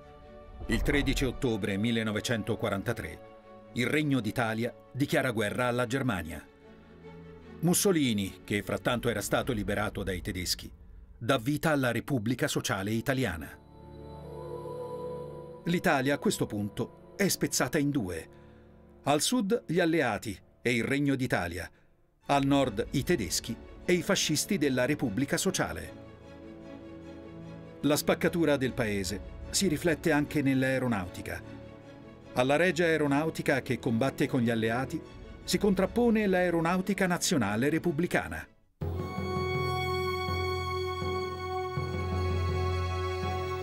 Ho detto, finita la guerra, vado a casa. Hanno fondato la Repubblica di Salò, la famosa Repubblica di Salò. E ci hanno chiesto a tutti, noi, cosa volevamo fare. Vuoi, vuoi stare alla Repubblica o vuoi, o vuoi, monta- o vuoi andare prigioniero? non ho voluto accettare la Repubblica. E allora mi hanno caricato su un camion. Sono andato a finire in, in, andato a finire in Polonia.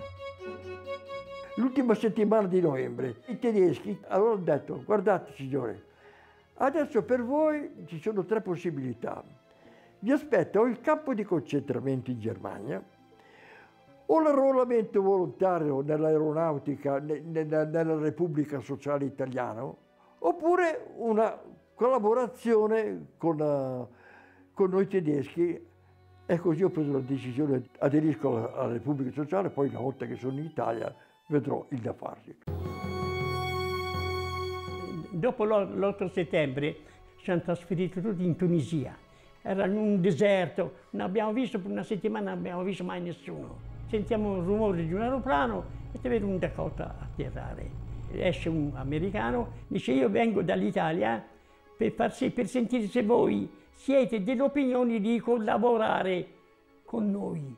Dice, si è riformato il governo a Brindisi, un momento mica era guerra. Dice, no, no, niente. Dice, voi venite in Italia e fate i collaboratori, andate tutti a Lecce. Dovete fare un, un servizio per il trasporto di tutto quello che sarà rapportato del governo.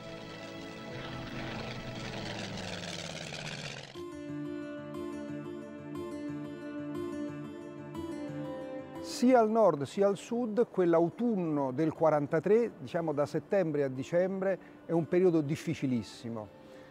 Sia al nord dove comandano i tedeschi, sia al sud dove comandano gli alleati, gli italiani sono visti con sospetto. Nel 1944 e 1945 a nord e a sud rimangono con la divisa azzurra circa 30.000 uomini sui 160.000 dell'estate precedente. Quindi solo una piccola parte continua a combattere, in condizioni molto difficili e sempre con l'obiettivo, la speranza di una ripresa dopo la guerra. Con 300 aeroplani fatti confluire nelle Puglie, viene costituita la Regia Aeronautica co-belligerante, articolata nei raggruppamenti caccia, aerei da bombardamento, aerei da trasporto, idrovolanti.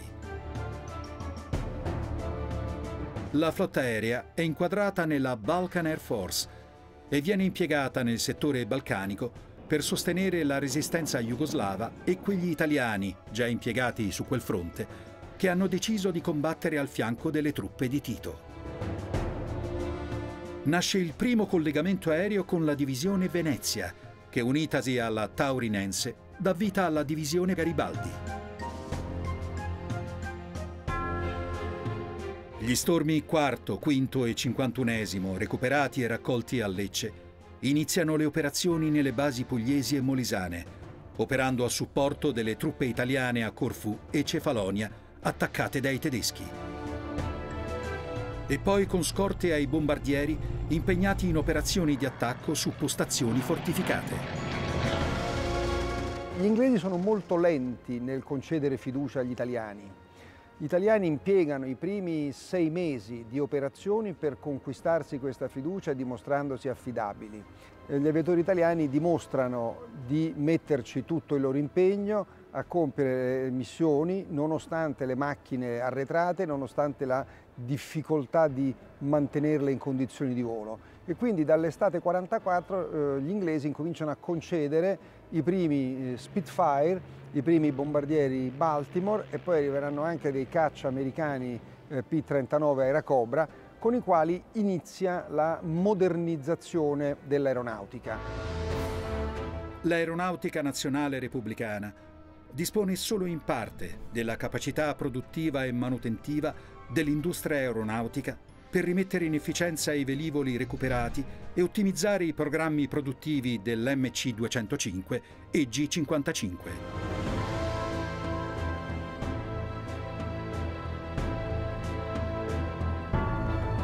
Nell'estate 44 si arriva al punto in cui i tedeschi decidono di incorporare direttamente l'aeronautica nazionale repubblicana nella Luftwaffe, trasformandola in legione aerea italiana.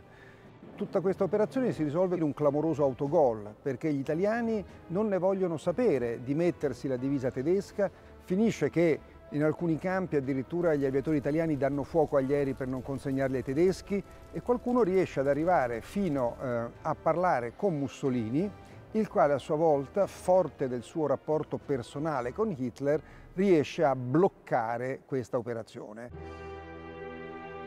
L'ultima missione aerea della Regia Aeronautica co-belligerante è affidata allo stormo Baltimore, ma è subito interrotta a Zara da un messaggio che comunica la resa dei tedeschi.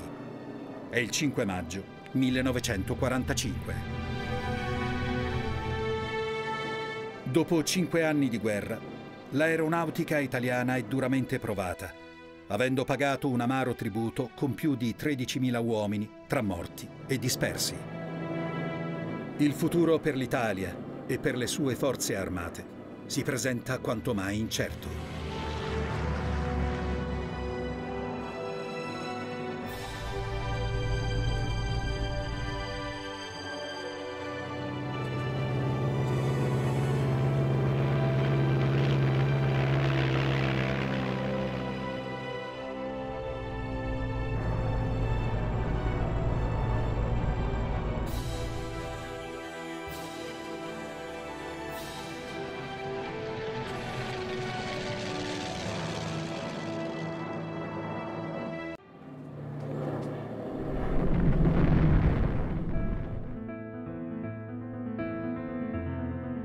Nel 1945, al termine della Seconda Guerra Mondiale, l'Italia è un paese distrutto. Le forze armate sono stremate da cinque anni di combattimenti. Anche l'aeronautica versa in condizioni drammatiche e richiede un piano di ristrutturazione.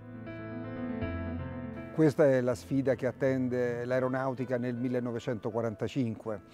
Primo è riprendere possesso dei luoghi e dei mezzi che sono abbandonati raccogliere le persone, valutare tutto e soprattutto costruire un futuro, disegnare un futuro. Tutto questo cambia nel giro di un paio d'anni con l'arrivo della guerra fredda in cui l'Italia viene riassorbita e di fatto decadono tutte le restrizioni imposte e inizia la vera ricostruzione. Quegli anni dal 45 al 49 sono sotto tanti aspetti quasi più difficili di quelli della guerra, perché si vede un paese che inizia a superare il trauma e le distruzioni, ma le forze armate ancora tenute a guinzaglio perché c'è la sfiducia verso l'ex nemico. Repubblica, annunziano i giornali d'ogni colore. Repubblica, comunica dal Viminale il ministro degli interni Romita alla stampa di tutto il mondo.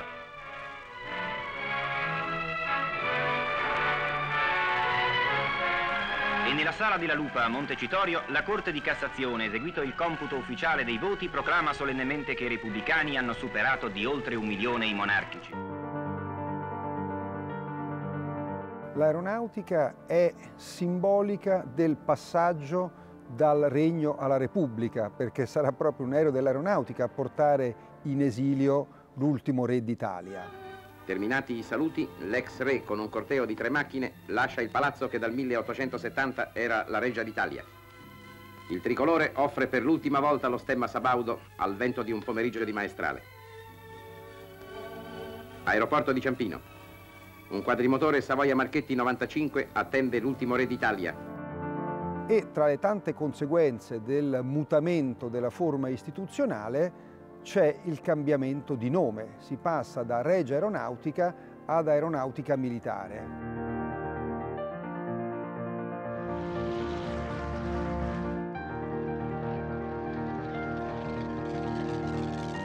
Sono rimasti pochi velivoli, in buona parte sopravvissuti al lungo conflitto, anche le macchine di fornitura alleata utilizzate nel 1944 e nel 1945 sono ormai macchine datate e soprattutto si guarda con timore più che con speranza a quelle che saranno le risultanze del trattato di pace che è in discussione. La fine della guerra è sancita con il trattato di pace firmato a Parigi il 10 febbraio 1947. L'Italia viene riconosciuta responsabile della politica di aggressione fascista, sfociata poi nel conflitto. Congresso di pace è estremamente antipatico parlare d'armi e di strumenti di guerra. Vi devo accennare tuttavia, perché nelle preoccupazioni prese dal trattato contro un presumibile riaffacciarsi di un pericolo italiano si è andati tanto oltre da rendere precaria la nostra capacità difensiva connessa con la nostra indipendenza. Il trattato di pace sarà ben più duro di quello che ci si aspettava.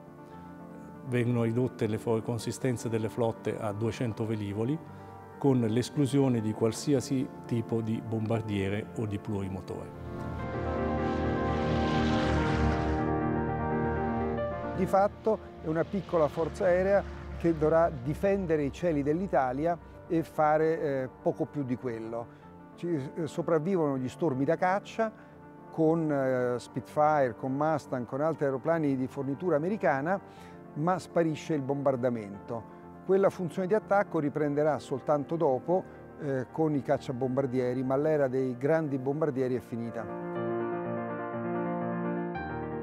Progressivamente queste restrizioni verranno allentate, ma la situazione rimane comunque difficile. Addirittura l'aeronautica militare si trova a dover fronteggiare alcune spinte ben evidenti sulla pubblicistica e sulla stampa del tempo, che ne vorrebbero la scomparsa e il ritorno alla situazione precedente al 1923, con forze aeree dell'esercito e della marina.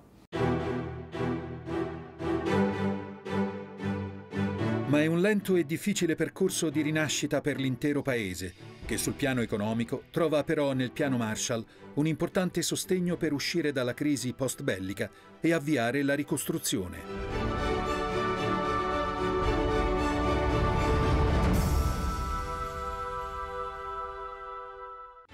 Intanto i rapporti fra le potenze occidentali e l'Unione Sovietica sono sempre più tesi. È l'inizio della guerra fredda. Nel 1948 i russi bloccano gli accessi ai settori occidentali di Berlino. Gli Stati Uniti organizzano un gigantesco ponte aereo per rifornire la città assediata.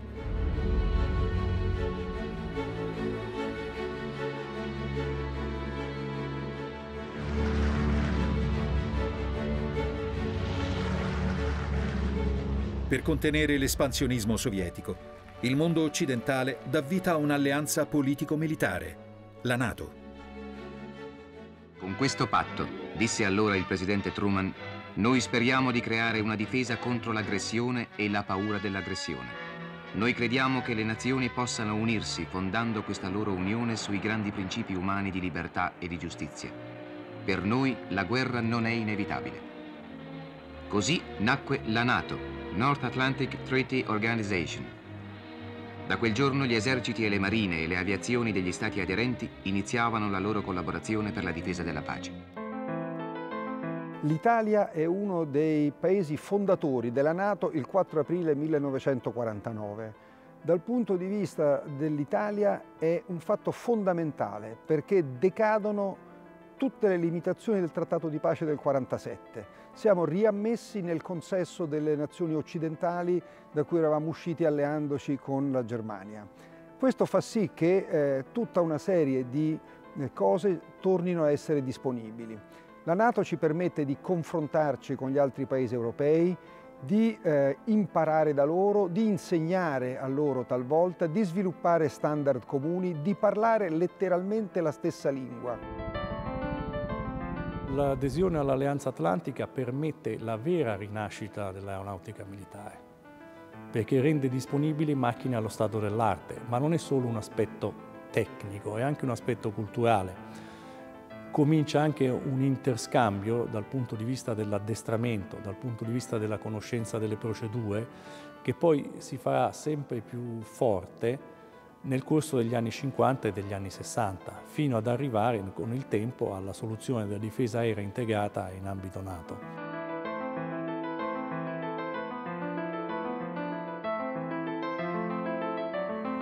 Tutto questo nasce all'inizio degli anni 50, non è un percorso facilissimo, non è un percorso immediato, ma sicuramente un percorso importante e vede l'aeronautica militare protagonista di questo tipo di avvicinamento dell'Italia al mondo occidentale.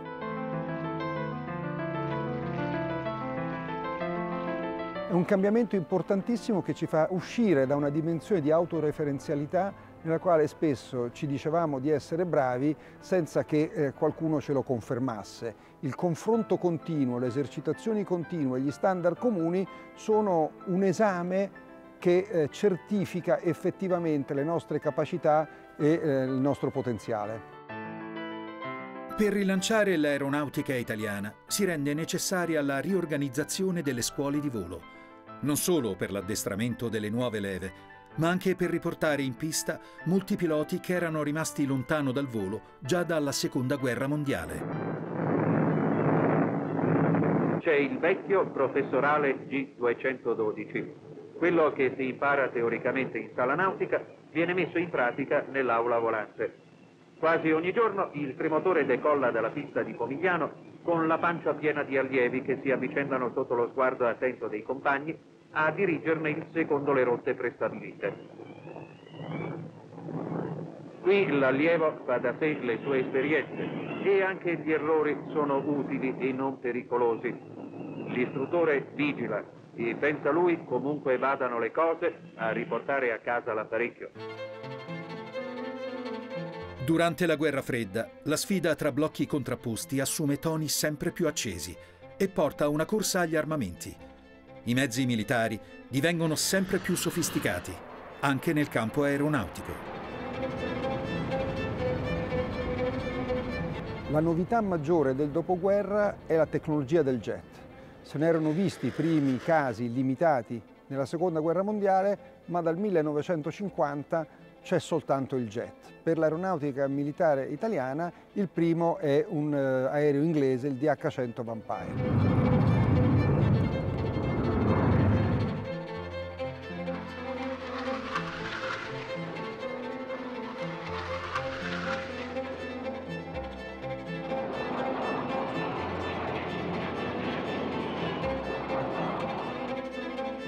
Insieme al jet arrivano altre novità. Arriva per esempio il radar, che consente di vedere lontano e quindi di organizzare la difesa aerea.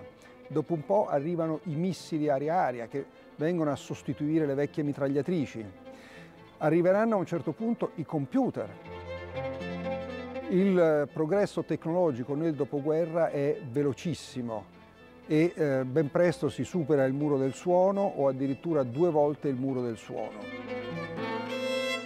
Dopo ripetuti e impegnativi collaudi è il 4 dicembre 1956 sull'aeroporto di Pratica di Mare, davanti ad un folto pubblico, alte autorità, militari e civili, tecnici italiani e stranieri, giornalisti europei, tecnici delle tv, tutti con lo sguardo volto verso l'aviogetto che rulla fino in testata pista e si allinea per il decollo. Il pilota, il tenente colonnello Giovanni Franchini, porta il motore al massimo dei giri. Constatata la regolarità di funzionamento del reattore, il collaudatore inizia la corsa di decollo.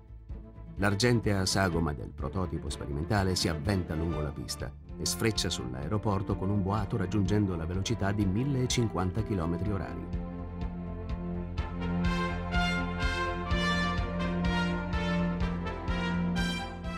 In cuffia gli giungono le congratulazioni del controllore di volo, che ha udito i caratteristici due bang supersonici. Aveva superato la barriera con Mach 1,1. Gli aeroplani che sono in servizio nel 1960 sono delle astronavi rispetto a quelli della Seconda Guerra Mondiale.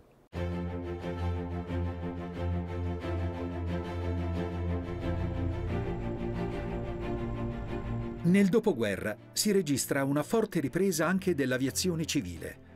Nel 1946 nasce l'Alitalia. L'industria italiana si rimette in moto.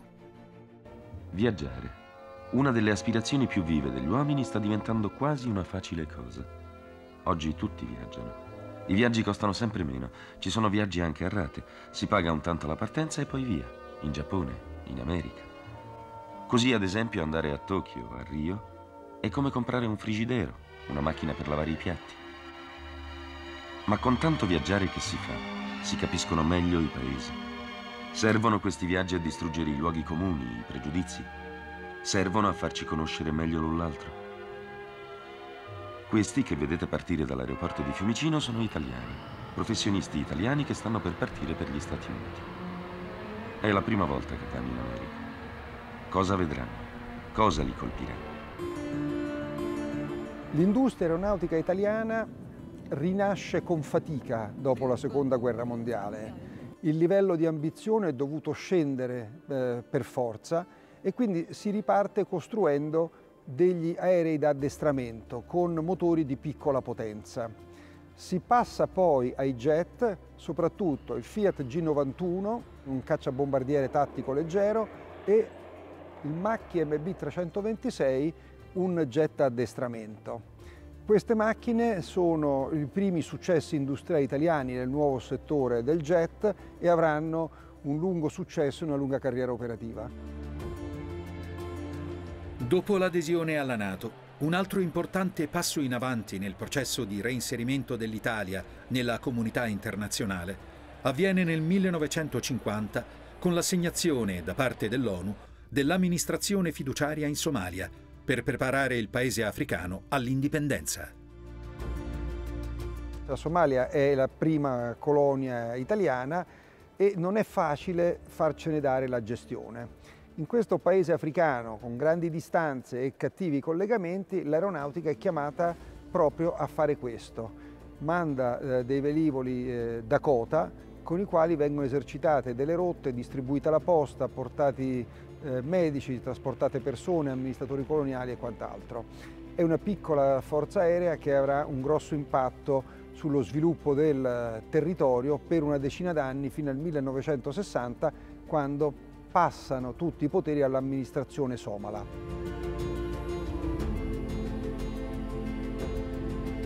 Nel 1960 le Nazioni Unite intervengono in Congo, ex colonia belga, sconvolto da una drammatica guerra civile. Di quel contingente fa parte anche l'Italia. L'11 novembre 1961 sarà una delle pagine più drammatiche per l'aeronautica militare. L'episodio di Kindu è abbastanza noto. Aviatori italiani arrivati per portare aiuti trucidati dai ribelli locali e 13 caduti che l'aeronautica militare continua a onorare giustamente come onora tutti i suoi caduti. È il maggiore Daud che parla. Eravamo 24 persone, 13 italiani, 10 uomini miei ed io. Qualcuno sulla veranda, gli altri all'interno. Questa finestra era aperta. Di qui uno di noi tenterà di fuggire. Alle 16.15 arrivò uno scaglione di 80 congolesi. Ci chiudemmo dentro e raccolsi subito i documenti d'identità. Sfondarono la porta. Nessuno aveva armi tranne un mio ufficiale. Furono tutti malmenati, io venivo tenuto contro il muro con una baionetta alla gola. Un italiano, mi pare il medico, fuggì dalla finestra e per lui la tragedia finì subito. Qui era la tavola della mensa. Alle 16.30 giunsero altri 300 congolesi. C'era anche il colonnello Pacasa. Non sono spia di ciombe, dicevo, e indicavo le divise, i fregi, il distintivo dell'ONU, le carte d'identità. Colpirono col calcio del fucile. In terra ancora i segni di quella violenza. Alle 16.50 li portarono via. Il sacrificio degli equipaggi dei due C-119 è diventato il simbolo del contributo italiano, non solo dell'aeronautica, alle missioni di pace.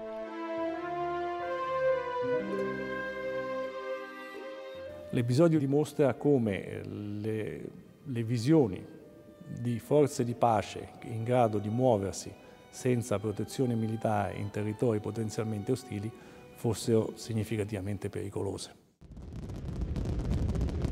Il primo satellite artificiale della Terra è stato lanciato con successo dall'Unione Sovietica ed ora sta girando intorno alla Terra ad una distanza che si calcola di 900 km.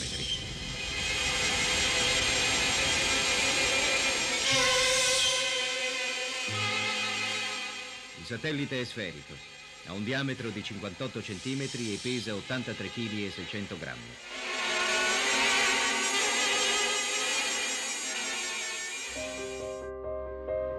Alla fine degli anni 50, le due superpotenze, Stati Uniti e Unione Sovietica, iniziano a sfidarsi anche in quella che sarà definita la corsa allo spazio. Il progresso tecnologico diventa un capitolo importante della guerra fredda.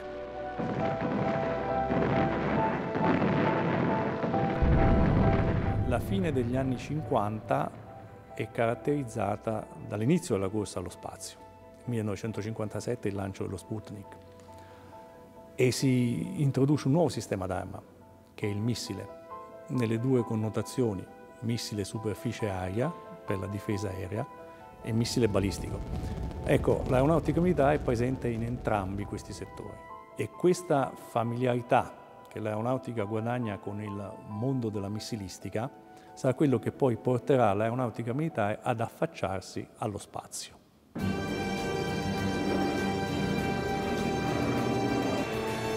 L'aviazione italiana ha anche una lunga e importante tradizione nel campo del volo acrobatico. La prima scuola nasce nel 1930 all'aeroporto di Campoformido, vicino Udine, per iniziativa del colonnello Rino Corso Fugé, che già da allora dimostra di avere le idee molto chiare riguardo all'acrobazia aerea. Il pilota perfetto è quello che ha la massima padronanza del velivolo in ogni assetto e in ogni circostanza, con la massima sicurezza e coordinazione, per poter sfruttare al meglio le caratteristiche di volo del velivolo.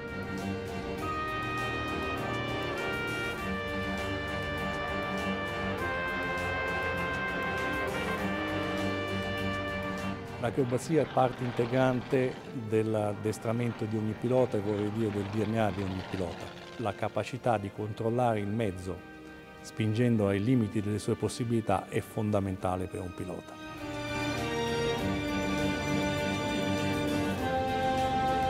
L'acrobazia aerea era una tradizione dell'aeronautica militare già dai tempi della Regia Aeronautica. All'inizio degli anni 30 ci sono le grandi manifestazioni aeree, le grandi esibizioni a cui prendono parte i velivoli da caccia del primo stormo che si fanno apprezzare sia in Italia sia all'estero, in quelli che sono i primi tour fuori dai confini nazionali.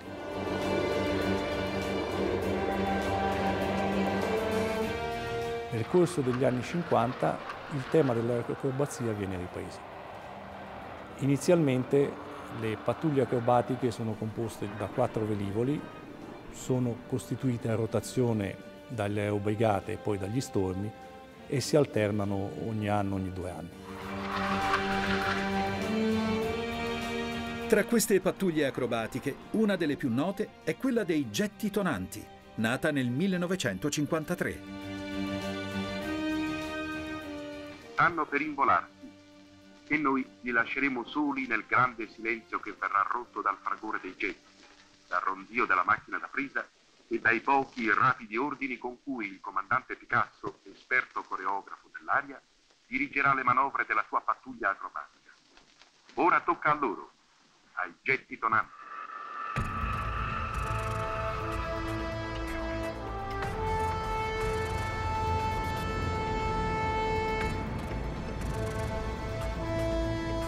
Questo avviene per tutti gli anni 50 fino alle Olimpiadi del 60. È in quel periodo che per intuizione del tenente colonnello Mario Squarcina si arriva all'idea di avere una pattuglia acrobatica nazionale costituita su base permanente e sarà questa la matrice da cui poi nascerà il 313 gruppo Frecce Tricolori.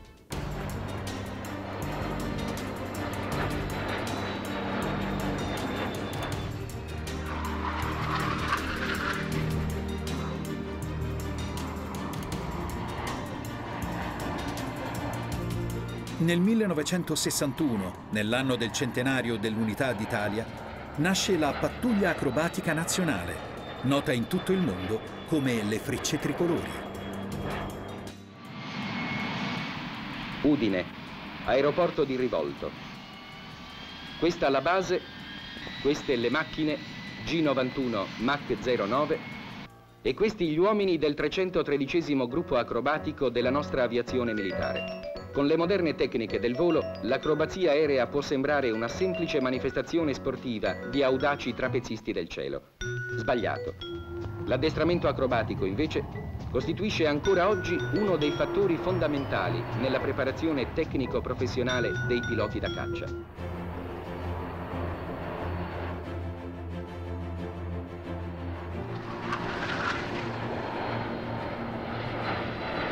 Credo sia significativo, e certamente fu anche voluto all'epoca, che la pattuglia fosse montata su velivoli di produzione nazionale. Quindi il G91, che rappresentava un'eccellenza dell'industria aeronautica italiana, andava ad equipaggiare quella che era la punta di lancia dal punto di vista delle, della capacità del, di volo acrobatico dell'aeronautica militare italiana.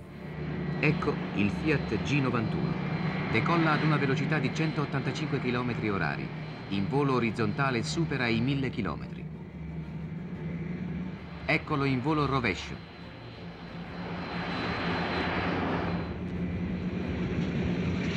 Ed ora in vite orizzontale lenta. È un velivolo di cui l'industria aeronautica italiana è molto fiera. Il progettista è l'ingegner Gabrielli. È stato scelto fra diversi tipi presentati da altre nazioni ad un concorso bandito dalla Nato. Sarà quindi costruito in serie e adottato dai reparti Nato. Quello delle frecce tricolori è un successo che va avanti da oltre 60 anni, tra incredibili e spettacolari esibizioni. E la folla entusiasta, con lo sguardo rivolto al cielo, resta con il fiato sospeso ad ammirare le loro acrobazie. Le frecce tricolori, che sono la pattuglia acrobatica più numerosa del mondo, hanno tra i loro assi, ad esempio, la figura della bomba. Attenzione, pronti per la bomba!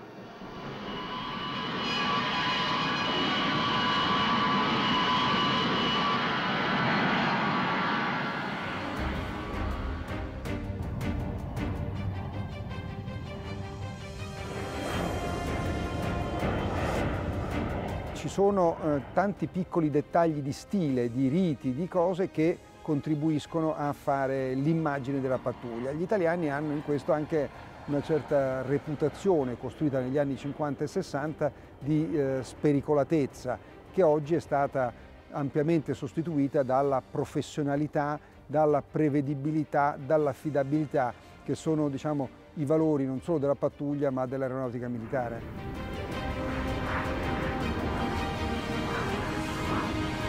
La popolarità delle frecce tricolori è collegata sì alla spettacolarità delle manifestazioni, ma anche a quella attrazione che da sempre il volo e nelle sue manifestazioni più affascinanti ha sul grosso pubblico.